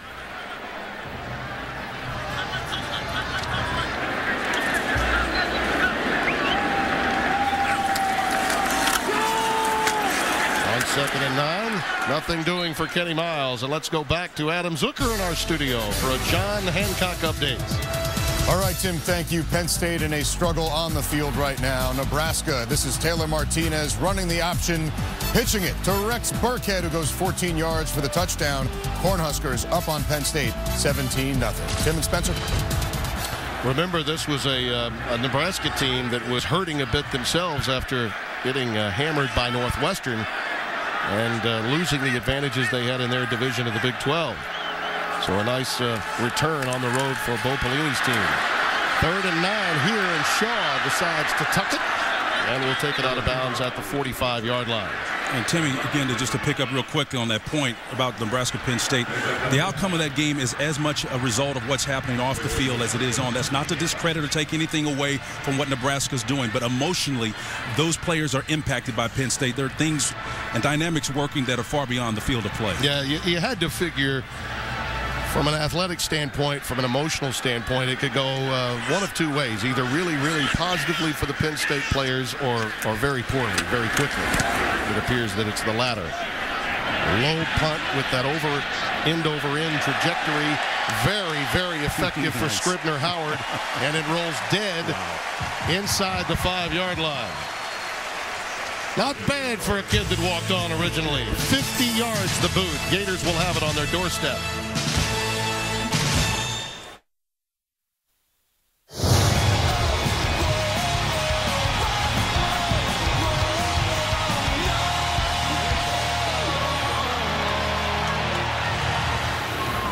Will it be the Roosters' day here in Columbia? 14 to 6. South Carolina with the lead. And coming up, uh, there are some interested parties in Athens, Georgia. The oldest rivalry in the South, Auburn and Georgia.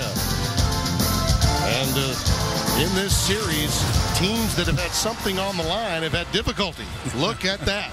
Absolutely. And this series is not unlike what we saw last week in, in what was de facto national championship game in a lot of people's mind. I don't necessarily agree with that, but in that series, it now stands at 28, 13, and 1 for the road team. And this series is not unlike that in that the team with the most on the line, as you said, tends to come out on the short end. No question. And what uh, Steve Spurrier wants to do is have um, Georgia aware that they must win by virtue of a South Carolina victory against Florida today. Chris Rainey, the lone setback, and he's a good five yards deep into the end zone. Play fake. Brantley unloads, and he's got Jordan Reed ahead to the 16-yard line. Now that's the kind of throw that in the warm-ups Brantley looked to be making. He is a big-time passer. Yeah, and it's a gutsy call too on a crossing route that needs to take time to play off of play action. And you can see Reed making his way through the coverage there, splits it, not sets it down, but he continues on because it's a man look, and that's the rule. Charlie Weis dialing up a risky but very productive play backed up in his own end zone. Ask any scout, they'll tell you the 15-yard out is one of the most important passes you've got to throw at the next level. Brantley again, this time to a streaking receiver down the sideline, incomplete. Andre Debose, the intended receiver. Let's go downstairs to Lewis Johnson. Hey, Tim, been hanging out over here behind the Florida bench. Kept a real close eye on Brantley here as he was sitting talking to Charlie Weis. He's got that ankle that's still bugging him. He's got the support brace on, a tape on the inside of the sock, and then the shoe is spatted. But he spent a lot of time talking to Charlie Weis, who told us that when he got to Florida, Brantley was a beat down guy. Everybody had blamed him. Everything had fallen on his shoulders. But now you fast forward to the Vanderbilt win, says that he's never been higher, feels, shows, and acts like the legitimate quarterback he is. They need to see some of that right now. There's no de denying he's the motor to this Florida team. They went 0 for October in large measure because he was not out there. Under pressure, he'll have to hit the deck quickly and does down at the 20-yard line. Let's go back to New York. Adam Zucker with an update. All right, Tim, thanks. How do you like this? Brandon Pendergrass tearing up 33 yards of grass as Wake Forest has scored 21 points in 4 minutes and 11 seconds at Clemson. A win would put the Demon Deacons in the Atlantic Division driver's seat. Tim? Well, we've seen Jim Grobe do this before at Wake Forest, haven't we? Got them to a BCS Bowl just a few years ago. Clemson, of course, still very much a part of the South Carolina Gamecocks schedule's future. But now it's third and seven for the Gators.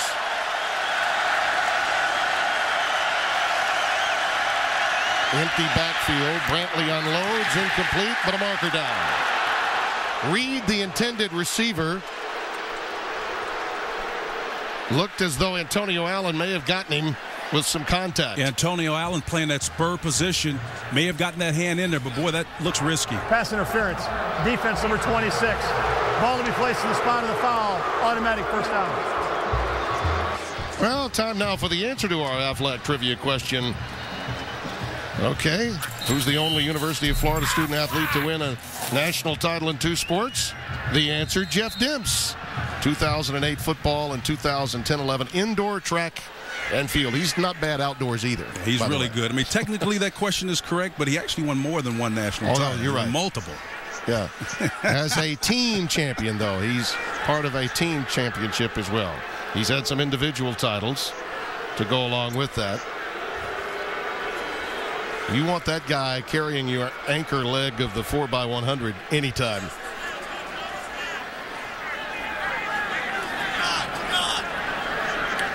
First down and 10. You see the penalty yardage for South Carolina doubling that of Florida. Speaking of doubling, Florida was 79 yards this half. South Carolina with just 12. Rainey and Burton now, both in the backfield. And it's Rainey.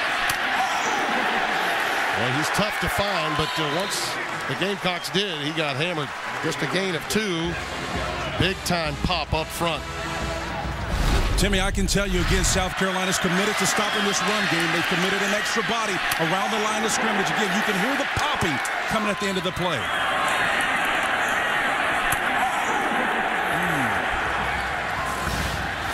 There was one huge hit by Travian Robertson, 42 of South Carolina.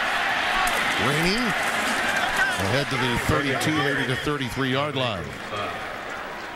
Well, student body left there on that particular play. Clowney wind up shutting that play down. There's a couple of folks down, including Clowney. That and Melvin Ingram. Ingram's down too.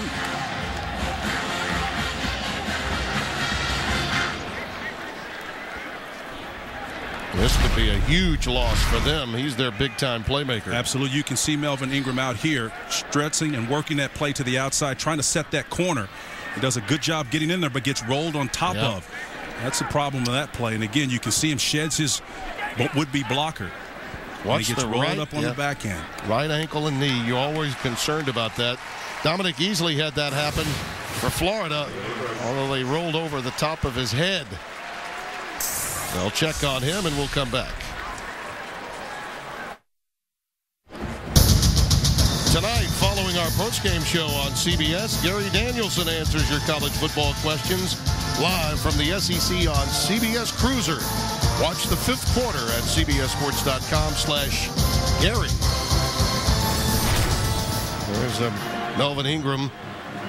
Boy, he is um, the most complete player that they have on their defense, and you know they want to get him out there again as soon as he possibly can. His, his motor never stops, and, and Will Muschamp knows he's got to contend with him on the outside. I was watching some drills of him and some coverage uh, events, which you expect this secondary guys to be engaged in, but he looks like a cornerback the way he covers. He is so athletic, Timmy. I was just floored to see the athleticism of Ingram. Burton and Hunter Joyer 41 now in the backfield for Florida. Only one of five on third down conversions. It's Burton, an option to pass, but he decides to run, and he's got a first down. He was looking downfield trying to get Deonte Thompson, but he was well covered. Well, it was a great job of at least causing the attention. This is the way the quarterback heads, but the play is ultimately going to wind up coming back the opposite direction. Nice design because you attract a lot of attention with the games and deals. Brantley sold it because the defender came right in his face. The ball was headed to the opposite direction, however. First down. And we've got uh, flags. Prior to the snap, false start, 64 offense, five-yard penalty, still first down. Lewis Johnson's got uh, the news on uh, Melvin Ingram. Yeah, Tim came over favoring that left shoulder, and after some diagnostic testing, they discovered a stinger, but said he's okay to go back in. That is good news. Roll stinger. By the way, speaking of quick guys, we've got one down there in uh, Lewis Johnson, by the way. He still looks like he can run, doesn't he? He's lean, athletic, rangy guy. First down and 15.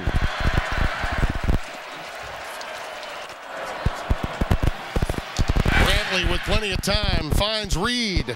And Jordan Reed is hammered at the 40-yard line. Boy, what a hit.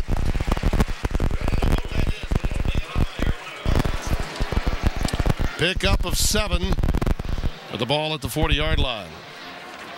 That was Reginald Bowens doing a tremendous job of exploding at the end of that play. That's how you make your presence felt. Finish the play, drive through the ball carrier or the receiver.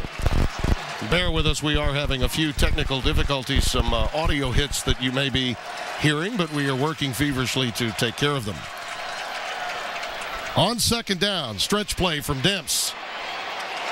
Wow. Corralled in a very big way by Swearinger, 36. Uh, the junior from Greenwood, South Carolina, was quick to get over there. Well, the junior comes with intent. He comes at a nice angle up the field here to make an outstanding play. Coming through all of that trash and garbage to get to him. Swearinger does a tremendous job of finishing that play. Third down and six.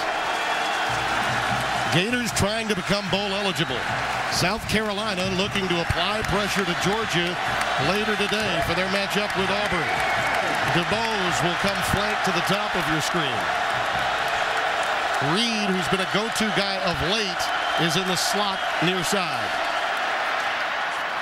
Pass a bit overthrown, intended for Rainey. And a marker down. Again, it's Brantley down. Again, the pressure on him. Oh, did Clowney get him late?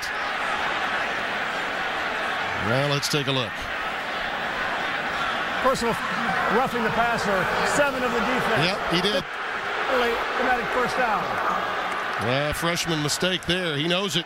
Saying my bad. He does. He touches himself in the chest area. He, the arm over does a nice job to get to the quarterback, but he's got to understand, even though he does try to pull off, if your head is anywhere near the helmet of that quarterback, you're going to get called on that play.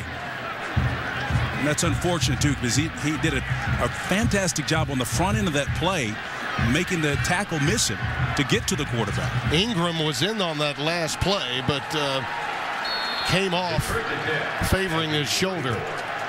And so now he's out of the game, and it's first and 10, Florida at the 44 of South Carolina.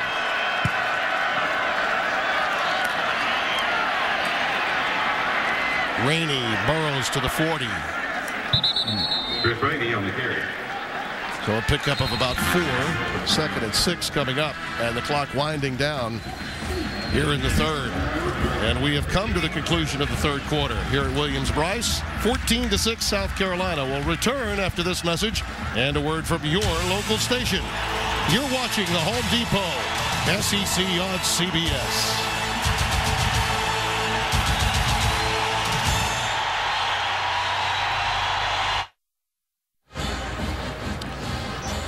Along with Lewis Johnson and Spencer Tillman, 14 to 6 our score. Tim Brando, as you look at our standings, you see how important this game is. South Carolina wants to get back to Atlanta for a second consecutive year. Their only chances if they win today and get some help with Georgia possibly losing to Auburn or, or maybe Kentucky later on. But, but, but Spencer, you've seen Brantley's success force a little bit of a change Ellis Johnson's defense for South Carolina. Absolutely. What they're doing is they're moving out of that two deep shell look into a single safety look, and sometimes they were rolling it. Uh, the difference or the of that is you now have an extra defender around the line of scrimmage. And again, they're doing the same thing that Florida did to them in the first half. Second down and six as we begin play here in the fourth.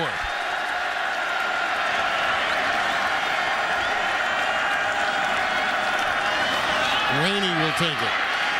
Not much room this time. Again, it's going to be a reoccurring theme. Both these teams know that they've had success running interior. As a result, what you just saw that short game was a result of an extra defender around the line of scrimmage, a single safety look. They'll roll into it late, give South Carolina more bodies around the line of scrimmage. In this half, Jordan Reed, number 11, has been a guy that um, Brantley's looked to Frankie Hammond hasn't had a touch. He and Debose go to the top of your screen. Reed is in the slot right. Single safety.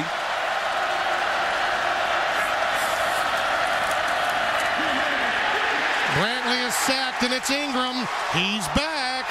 Ball is loose. Clowney comes away with it. Was there a whistle? Looks as though there may have been.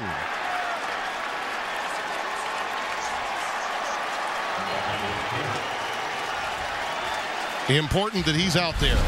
Take a look again at the sight and sounds of the play.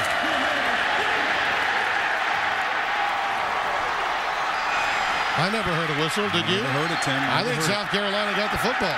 Or at the very least, they, the, the ground can't cause it, the uh, a fumble, but uh, I didn't hear the whistle. The crowd was so the, the, decibels were so high. Well, the bigger story is South Carolina's defensive response certainly responded admirably to the ground success that Florida was experiencing to begin this second half. That is a ball hawking defense. That They're stripping it as best they can, but he was on the ground.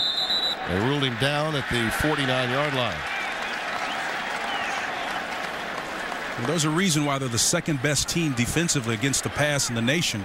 Again, it's because not necessarily they're so active on the back end or athletic. It's that front that continues to get pressure on the quarterback. And you can see it again here. Brantley does a nice job of selling it, but the pressure is upfield. Look at the two ends, including Clowney Company. They are all over the quarterback playing on the opposite side of the line of scrimmage. And I don't care how big you are, how much of a quintessential drop back quarterback you are.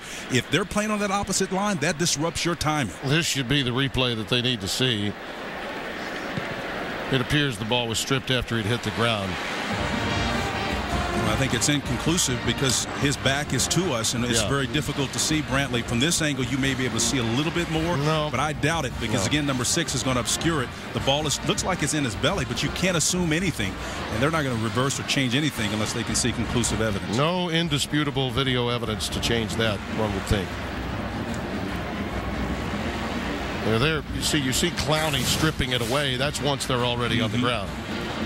Tough day, though, for, for John Brantley. Things were going well, but again, bogged down by the pressure. I think the Gamecocks, in so many ways, because of Melvin Ingram and Jadeveon Clowney, two big-time playmakers, they sort of force offensive lines to account for them. And in so doing, it frees up a lot of other guys to have their way. And that is correct. And it goes beyond that. Again, that's one of the chief reasons why Charlie Weis came to this pistol offense, because it allows the quarterback to turn either way.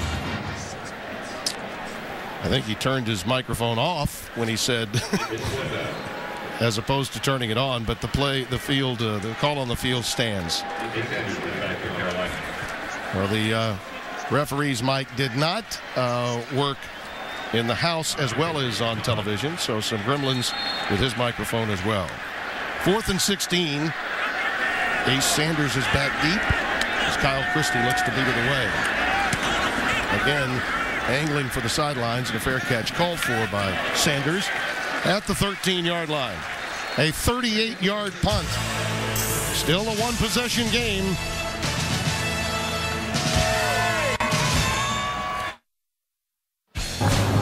And now it's time for our Geico game recap. Sturgis began it with a 21-yard field goal to make it 3 to nothing Florida. Gamecocks finally got it going. And Connor Shaw culminated a nice drive with a 10-yard scoring run, hitting the pylon. Followed that up with a lengthy drive, ending with a quarterback sneak. And then the finishing touches to Florida's most recent drive to make it a 14-6 game, 24 yards by Caleb Sturgis. And our score now 14-6, South Carolina leading Florida. And this week, Dave's all new with presidential candidate Herman Cain, plus Jerry Seinfeld. And Monday, don't miss How I Met Your Mother star Jason Segel. Then catch Craig. I love Craig. Only CBS. I love that guy. Let's look at Steve Spurrier there. 198 yards, 14 points in the first half for South Carolina, 12 yards, zero points in the second half, Timmy. Coach Spurrier trying to coach him up and get some production. It may not be as artistic as the fun and gun days for Steve, but he'll take some of those ugly wins. Um, and he's had his fair share of them here at South Carolina. Both of these programs, when you think about it, Spencer, are just maybe a few players short at mission critical positions for the coaches to do what they really want to do. Yeah, that, the, the decision for both of them to take what they have and work with it on display here today. Shaw coming back into the boundary, hammered after a gain of only one. Josh Evans, number 24, makes the stop. Let's go to Adam Zucker now for this Heisman Watch presented by Nissan. All right, Tim, how about a 28-year-old Heisman winner? Brandon Weeden today, over 400 yards, five touchdowns. This one to Josh Stewart for 66 yards. They lead by 57 in Lubbock, and they've already gone to the bullpen. Two other quarterbacks undefeated. Case Keenum dominant in Tulane on Thursday, and Kellen Moore facing TCU today. He struggled in two meetings against them. Now back to you. Indeed, and uh, while we were away, Case Keenum getting up gingerly after absorbing that hit from Josh. Excuse me, I, I, beg your pardon, Connor Shaw, after looking at Case Keenum on graphics there a moment ago. Watch this as he gets hit that shoulder, Spencer. Yeah, the play comes and it's inside-out tackling, gang tackling. And here's another look, and it nails him pretty good, too. He turns his back. You know, one of the things you'll learn when you're coming into a, a, a defender is not to turn your back on him because it exposes your ribs. Listen to this.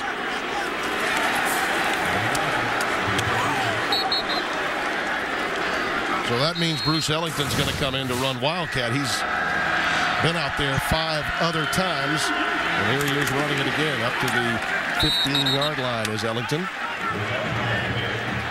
They used him in their opening scoring drive to get that first touchdown. He was in for the first three plays of that series that led to Connor Shaw's 10-yard touchdown run. Yeah, with 13-10 left to play, this is a most critical stop here for this Florida defense. They get great field position if they're able to force a punt here and then reverse the trend so far. Well, you got to think that they'll be very careful here with Ellington in there.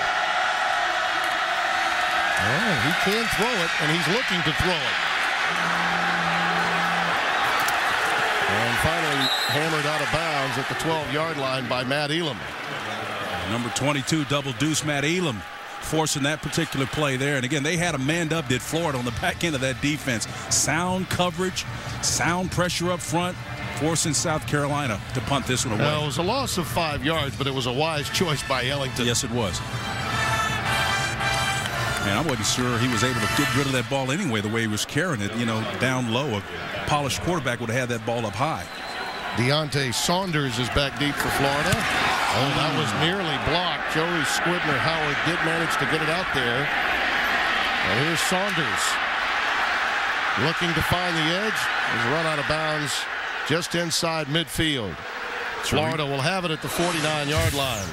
A 43-yard boot, a six-yard return. Oh, how close was this? Sharrif Floyd. He's done it before. The Home Depot SEC on CBS is sponsored by Napa, Outback Steakhouse, Dr. Pepper, and by Our score here in Columbia, South Carolina, the Gamecocks leading the Gators 14 to 6. Regional action tomorrow, the NFL on CBS. Most will see Buffalo at Dallas. And there you see the remainder of those matchups. It all begins with JB and the quartet. The NFL today at noon Eastern time. Brought to you by Southwest Airlines. Houston Texans looking to get to seven and three. Yeah. Wade, Wade Phillips, uh, number one rated defense, go from 30 to one in a single year. That's pretty impressive. And Buffalo. Be interesting to see uh, Chan Gailey going back to Dallas. Ah, uh, yes. As a head coach with the Bills. Chris Rainey, the lone setback. And he gets it. Look out. Watch out for the speed and the cut. He may break it. This could be the play. Rainey is finally caught from behind at the two. Stephon Gilmore coming over there to save the touchdown. 47 yards. You talk about creativity on this particular play. Rainey does an excellent job of coming downhill. He'll ultimately wake his way all the way back the opposite field. Instinctive running. Downfield blocking by his opposite wide receiver. And again, but for the saving tackle, we got ourselves another ball game here. This is yeah. getting close, Timmy. First and go, left two.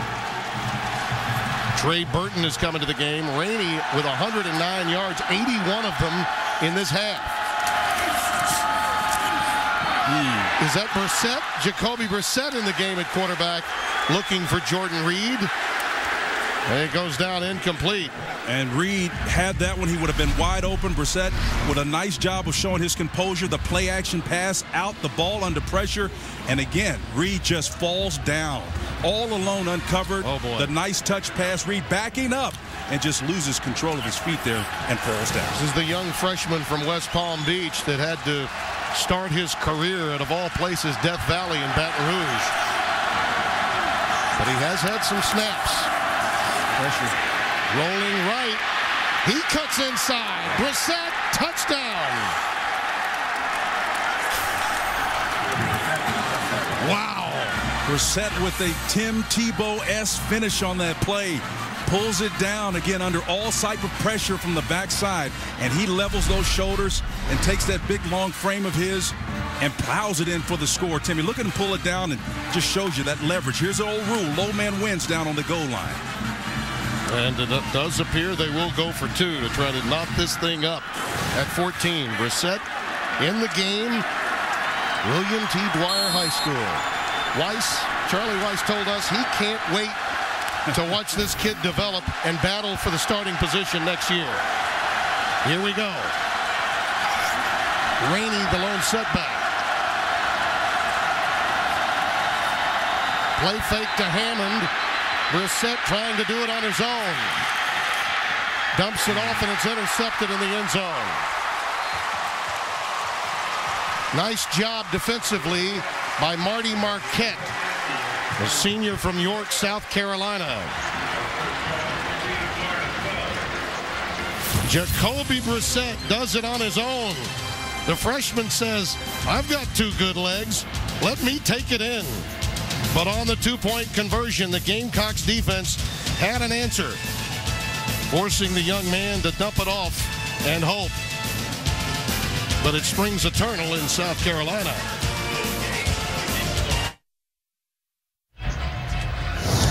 Stay, stay tuned because uh, time permitting, the Jeep postgame show will be coming your way on CBS Sports.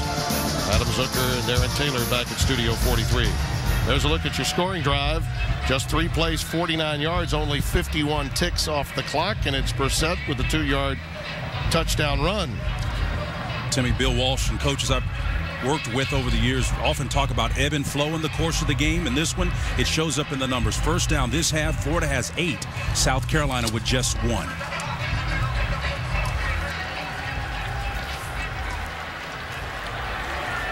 And that's been an issue, I think, in large measure because of the injury to Shaw.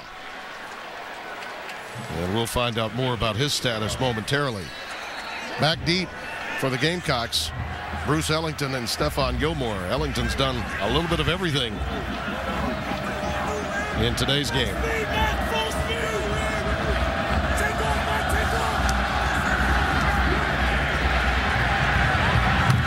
Ellington Bruce Ellington beyond the 40 to the 42 yard line, and it was Brad Phillips, the kicker, that made the stop, tripping him up.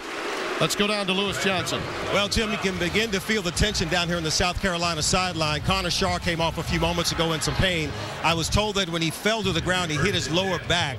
They looked at him, but Shaw stayed close to the sideline, close to the coaches to show himself ready to go back in, put his helmet back on, and I believe he's gone back out on the field. And there's the play that Lewis is talking about. Again, we're talking about the importance of not turning your back to defenders because your back is exposed for the most part. Pre-snap movement up front. Florida may have encroached, but there could have been premature movement on South Carolina's side. We'll let them uh, sort it out.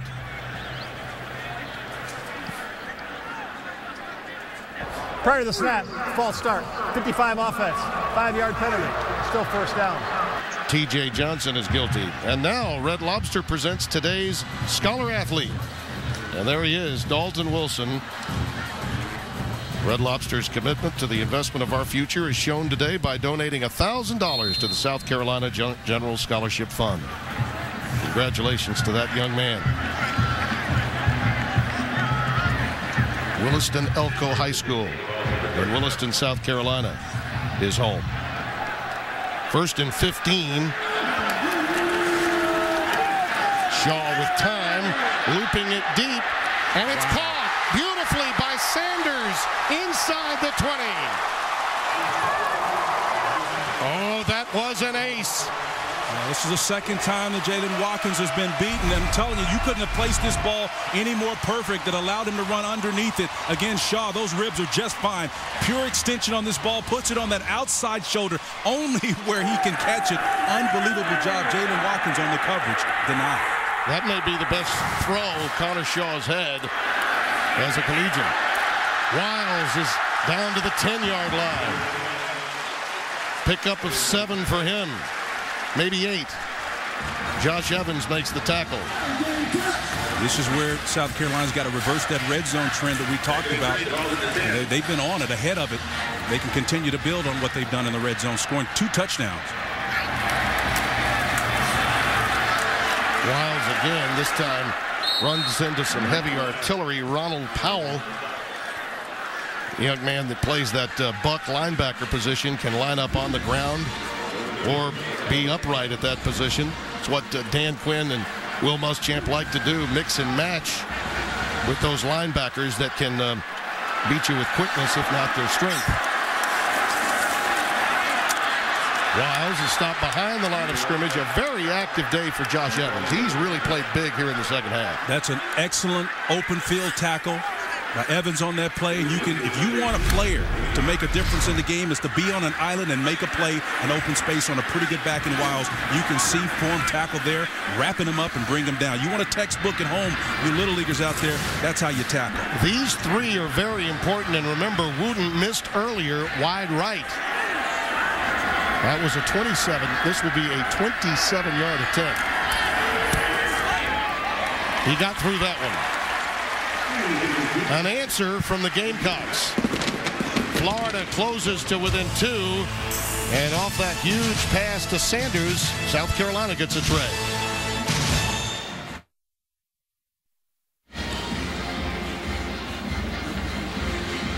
South Carolina leading by five with 9.14 to play. You see the scoring drive.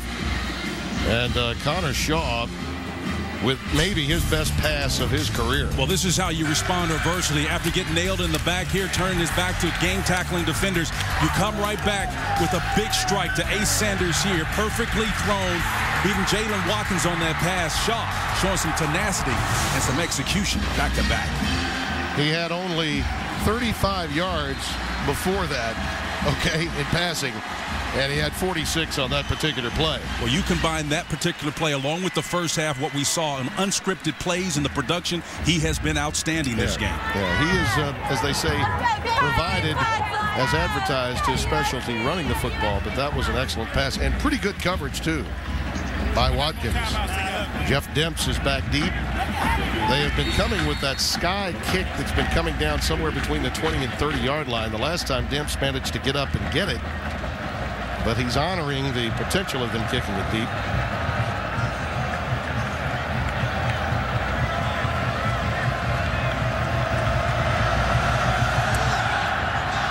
Angling again inside the 25-yard line. Perfectly executed, and Demps is down at the 32. Let's check in again with Lewis Johnson on the health of John Brantley, who limps out. Hey, Tim, uh, John Brantley sat right next to Charlie Weis while South Carolina was on offense. He took absolutely no medical attention, and in the change of possession, was interesting to see how he got the multiple signs of respect and support from his teammates, but none was bigger than the one he got from Will Muschamp, who gave him the big handshake and the face and the eyes that said, Brantley, go get it. Boy, he is one tough customer. And that's consistent exactly what Will Muschamp told us. He says he doesn't just affect our offense, Tim, he affects our defense as well. Out of the shotgun, it's Rainey. Oh, look at him just negotiate through that first line and then uh, jitterbug out to near a first down. Let's go to New York and Adam Zucker with an update. All right, Tim, thanks. A couple hours away from you, Clemson has tied it back up. Tajh Boyd to Jaron Brown. They are all tied up at 28 with five and a half to go in the game. Control of the ACC Atlantic on the line. Tim and Spencer? This has become some uh, state for college football with Clemson's uh, dominance over in the ACC and the potential of uh, South Carolina perhaps winning the East for a second consecutive year. Rainey Boy, slipped as he was making that cutback. That was similar to the move that he made uh, a few moments ago down at the 48-yard line. Well, coming up, we'll have the play of the game presented by Napa Auto Parts.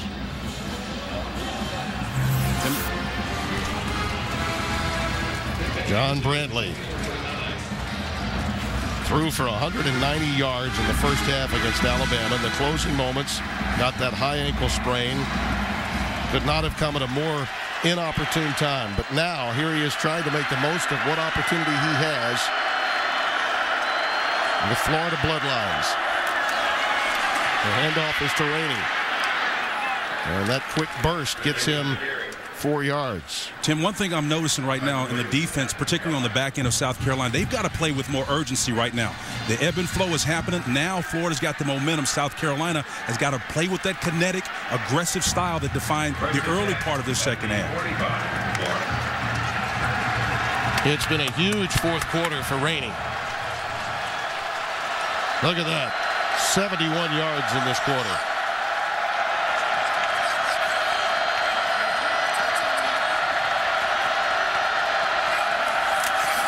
That's a busted play, and Brantley just has to go down. He went one way, and Rainey went the other.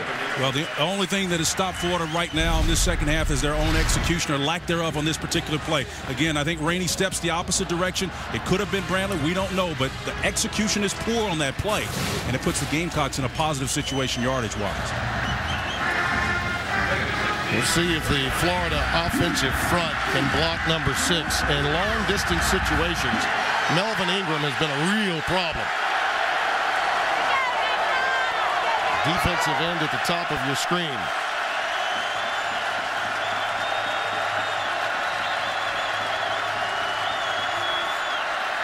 Here he comes, and they run the screen to Rainey, and he's run down quickly. Shaq Wilson makes the stop, and let's get an update from Happy Valley. Adam Zucker in New York. Well, Tim, Happy Valley's getting happier. They were down 17-0, but off a Nebraska fumble. Stephfon Green finds his hole and gets in. It's 17-14 with under six minutes to play. Nittany Lions trying to stay undefeated in Big Ten play. Tim and Spencer. That's been a problem for Nebraska turnovers. And again, yep. they've got a big back who uncharacteristically turned the ball over. Listen to this crowd. They are smelling it here on third down and 20. Burton and Joyner in the backfield for max protection for Brantley. There's number six. Ingram after him again, and he has to throw it away. They cannot control Melvin Ingram.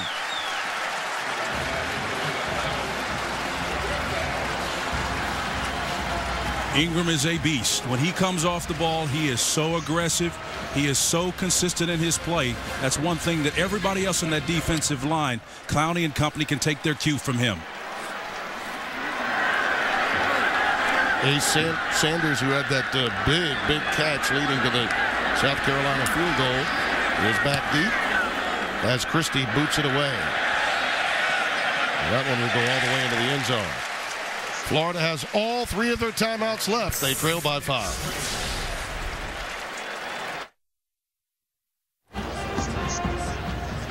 Seventeen to twelve, South Carolina with the lead, and some shining moments from around the country today. Kirk Cousins, uh, another big day in the air against the Hawkeyes.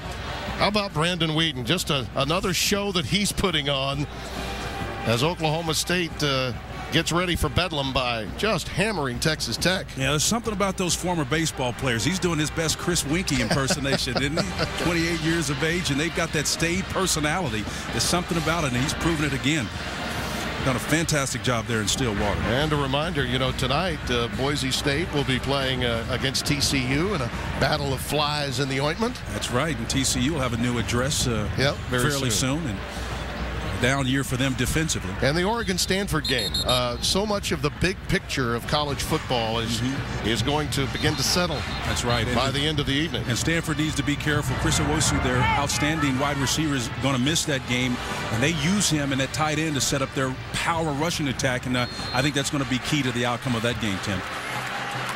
This could be, as they uh, say, uh, a shape up Saturday afternoon. Or slip down. Yeah, we one. may be settling things in the SEC East with this this ball game as well as uh, the Georgia Auburn game to follow. Vern, Gary, and Tracy are standing by in Athens, Georgia for that one. Brandon Wilds in the backfield, and he'll carry it. Mm. Boy, ran it right into Sharrif Floyd and then bounced off him for more positive yardage beyond the 20 to about the 22. Well, what does this game mean? Well, if South Carolina wins, they apply pressure to the Georgia Bulldogs. Georgia will have to win not only against Auburn later this afternoon, but a matchup with Kentucky coming later to make their way to Atlanta for the Southeastern Conference Championship. Wilds, by the way, with 100 yards rushing after that last run. Second and seven.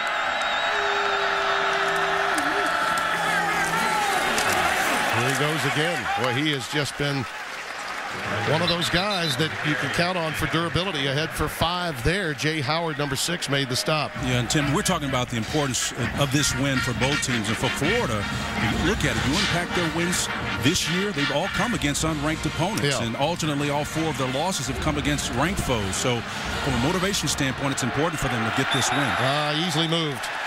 Smart move by the South Carolina offense, it appeared. They saw the movement, then they snapped it. Here comes the call. Offside, defense number two. Five-yard penalty results in a first down. Well, coming this December to Showtime, it's a game of honor. An all-access look into the lives of the football players of Army and Navy. You'll get unprecedented access to see what it takes to be a cadet and midshipman. And find out what makes the Army-Navy game one of the greatest rivalries in all of sport. That's a game of honor this December only on Showtime. First penalty of this half against Florida, and it came at the worst possible time. With the clock winding down to four minutes. They really need a stop here. They're going to have to start using their timeouts. Shaw well, that was a saving tackle by Elam, wasn't it? Well, yeah, he's was. he is really good. 22. Gain of two. There are a couple of ways to affect offenses. One is to, again, play on the opposite side of the line of scrimmage, and Elam does a fantastic job of blowing out the legs of Shaw there. And, Tim, one little quick note about your penalties. Listen, this Florida team is the most penalized team in the FBS. And, again, just one penalty so far, but it's been a costly one. I'm talking about this half. It's been a costly one. This is a huge series for the Florida defense. Otherwise, they, they have to start emptying those timeouts.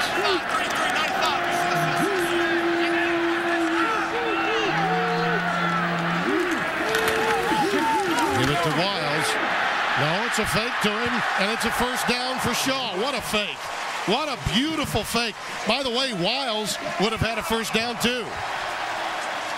Sleight of hand by number 14 at quarterback. Well, you can see here's a missed opportunity. Florida has a chance to stop this play, runs right by the quarterback, and Shaw does a better job of finding the void there. He's got blockers on the outside, and he slides feet first. Heads up play by Shaw. With the first down and the clock ticking as you look at Dan Quinn, they know they're going to have to get stops and then start using timeouts.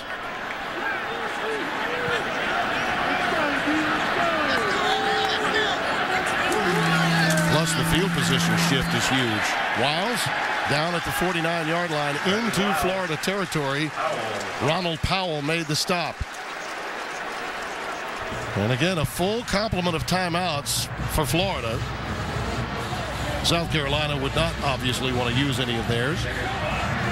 Florida's got to start burning them at some point in time. They've got to get a stop, though, first time. Yeah.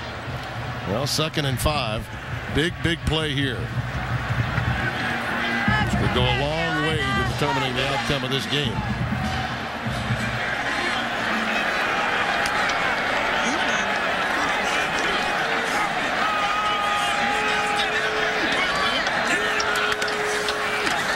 Brandon Wilds has the first down. Play of the game. Timeout. We'll be back.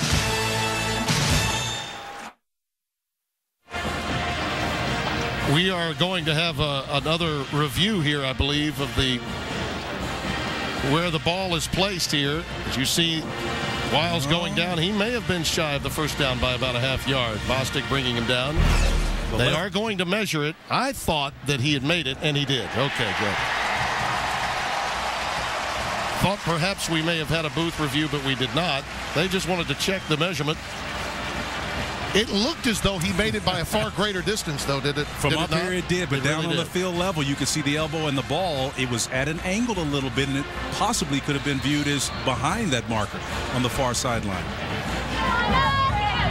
My eyes don't deceive me after all. Three minutes and 47 seconds off the clock in this uh, drive. And now Florida, having utilized one of its timeouts, down to two with 147 remaining.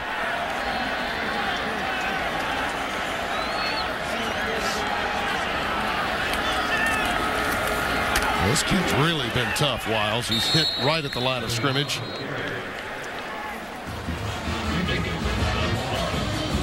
And another timeout taken by the Gators. That's all Will Muschamp's team can do at this stage. Now they need a strip. They need a fumble. Something big to happen.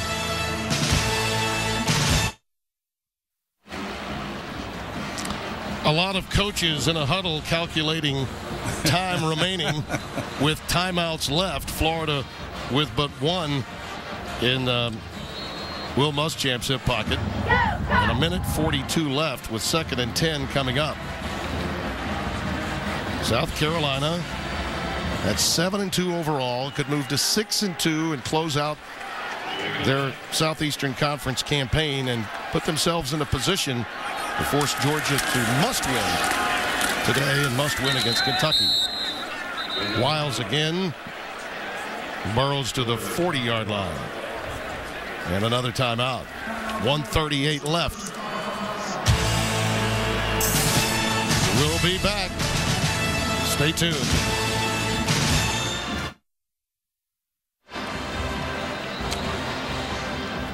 Florida is out of timeouts.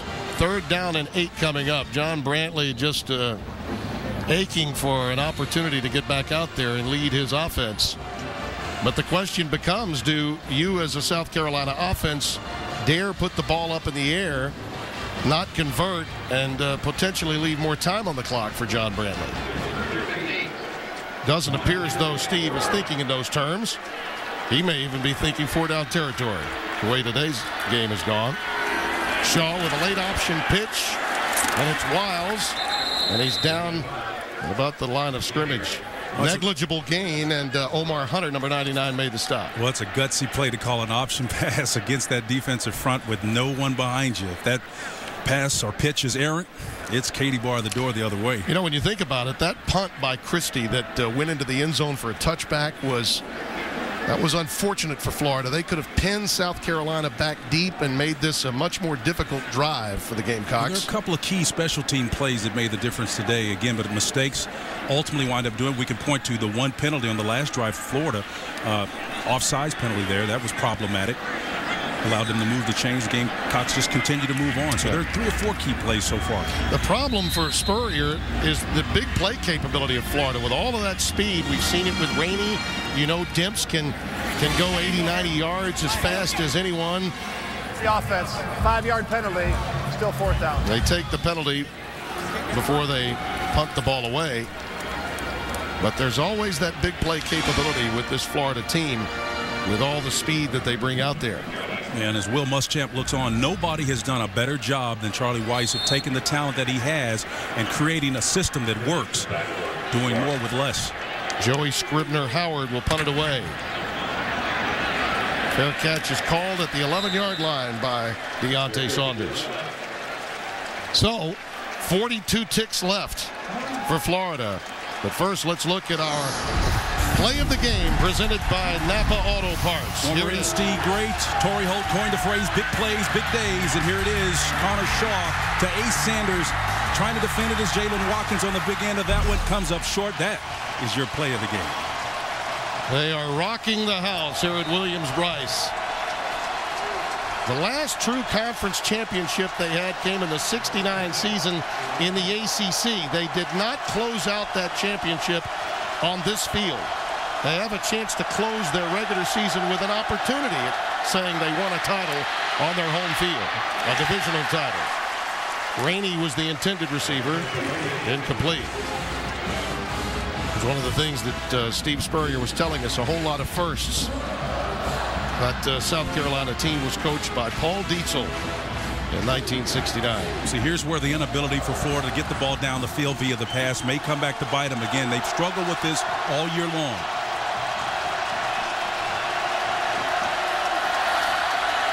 Brantley under pressure. Some resourcefulness, and he finds Jordan Reed. And Reed's got a first down to the 21-yard line. They stop the clock to move the chains. Remember, Florida has exhausted their timeouts. But don't expect Ellis Johnson, the defensive coordinator for South Carolina, to pull up. They are coming after him, hell-bent for election, trying to affect this lane quarterback. He's got to get rid of it quickly. He does underneath again to Rainey. Look at that. Watch out. At the 40, another first down. And they'll stop the clock again for the change to move with 11 remaining. Well, you think about it. If you can get it to the 50 and out of bounds, you can take a shot to the end zone. They decide to spike it with nine ticks left. Are you thinking two plays here? I'm thinking two plays. You've got a shot. The average play is going to last six to seven seconds. If they get it to the boundary and out of bounds, incomplete, obviously the clock will start. Do you take the shot now, though, or do you take it on the back end? That's the difference. Well, you, you really don't know with, with Brantley on a leg and a half back there. He's got to get rid of the football pretty quickly. The margin for error is zero. Yeah. I mean, he can't move. This may wind up being the last play, Timothy. Well, we've got um, our referee coming over, Matt Austin, maybe wanting to talk. Please reset the game clock to nine seconds. Yeah, the clock had begun to move down to four, so they got it back up to nine seconds, which is where it should have been. Little home field clock operating there for the head ball coach. Second and ten.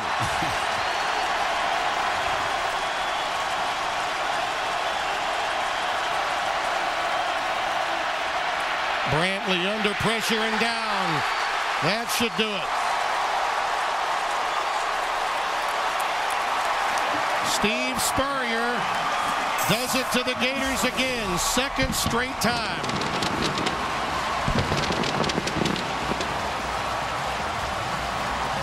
They finished the conference campaign at 6 and 2. Their overall record moves to 8 and 2. Here's the pressure again. Well, again, it's because of the inability to move. The pistol worked for him last week, a little bit this week, but again, not able to move. Steve Spurrier excited about the fact that we eventually were able to get to the guy. For Spencer Tillman and Lewis Johnson, Tim Brando saying so long from Columbia, South Carolina, where once again our final score 17 to 12, South Carolina. Now, Georgia, it's on you. Coming up next, it's the Home Depot SEC on CBS. 15th ranked Georgia host 20th ranked Auburn. This has been a presentation of CBS Sports, home of the SEC Championship.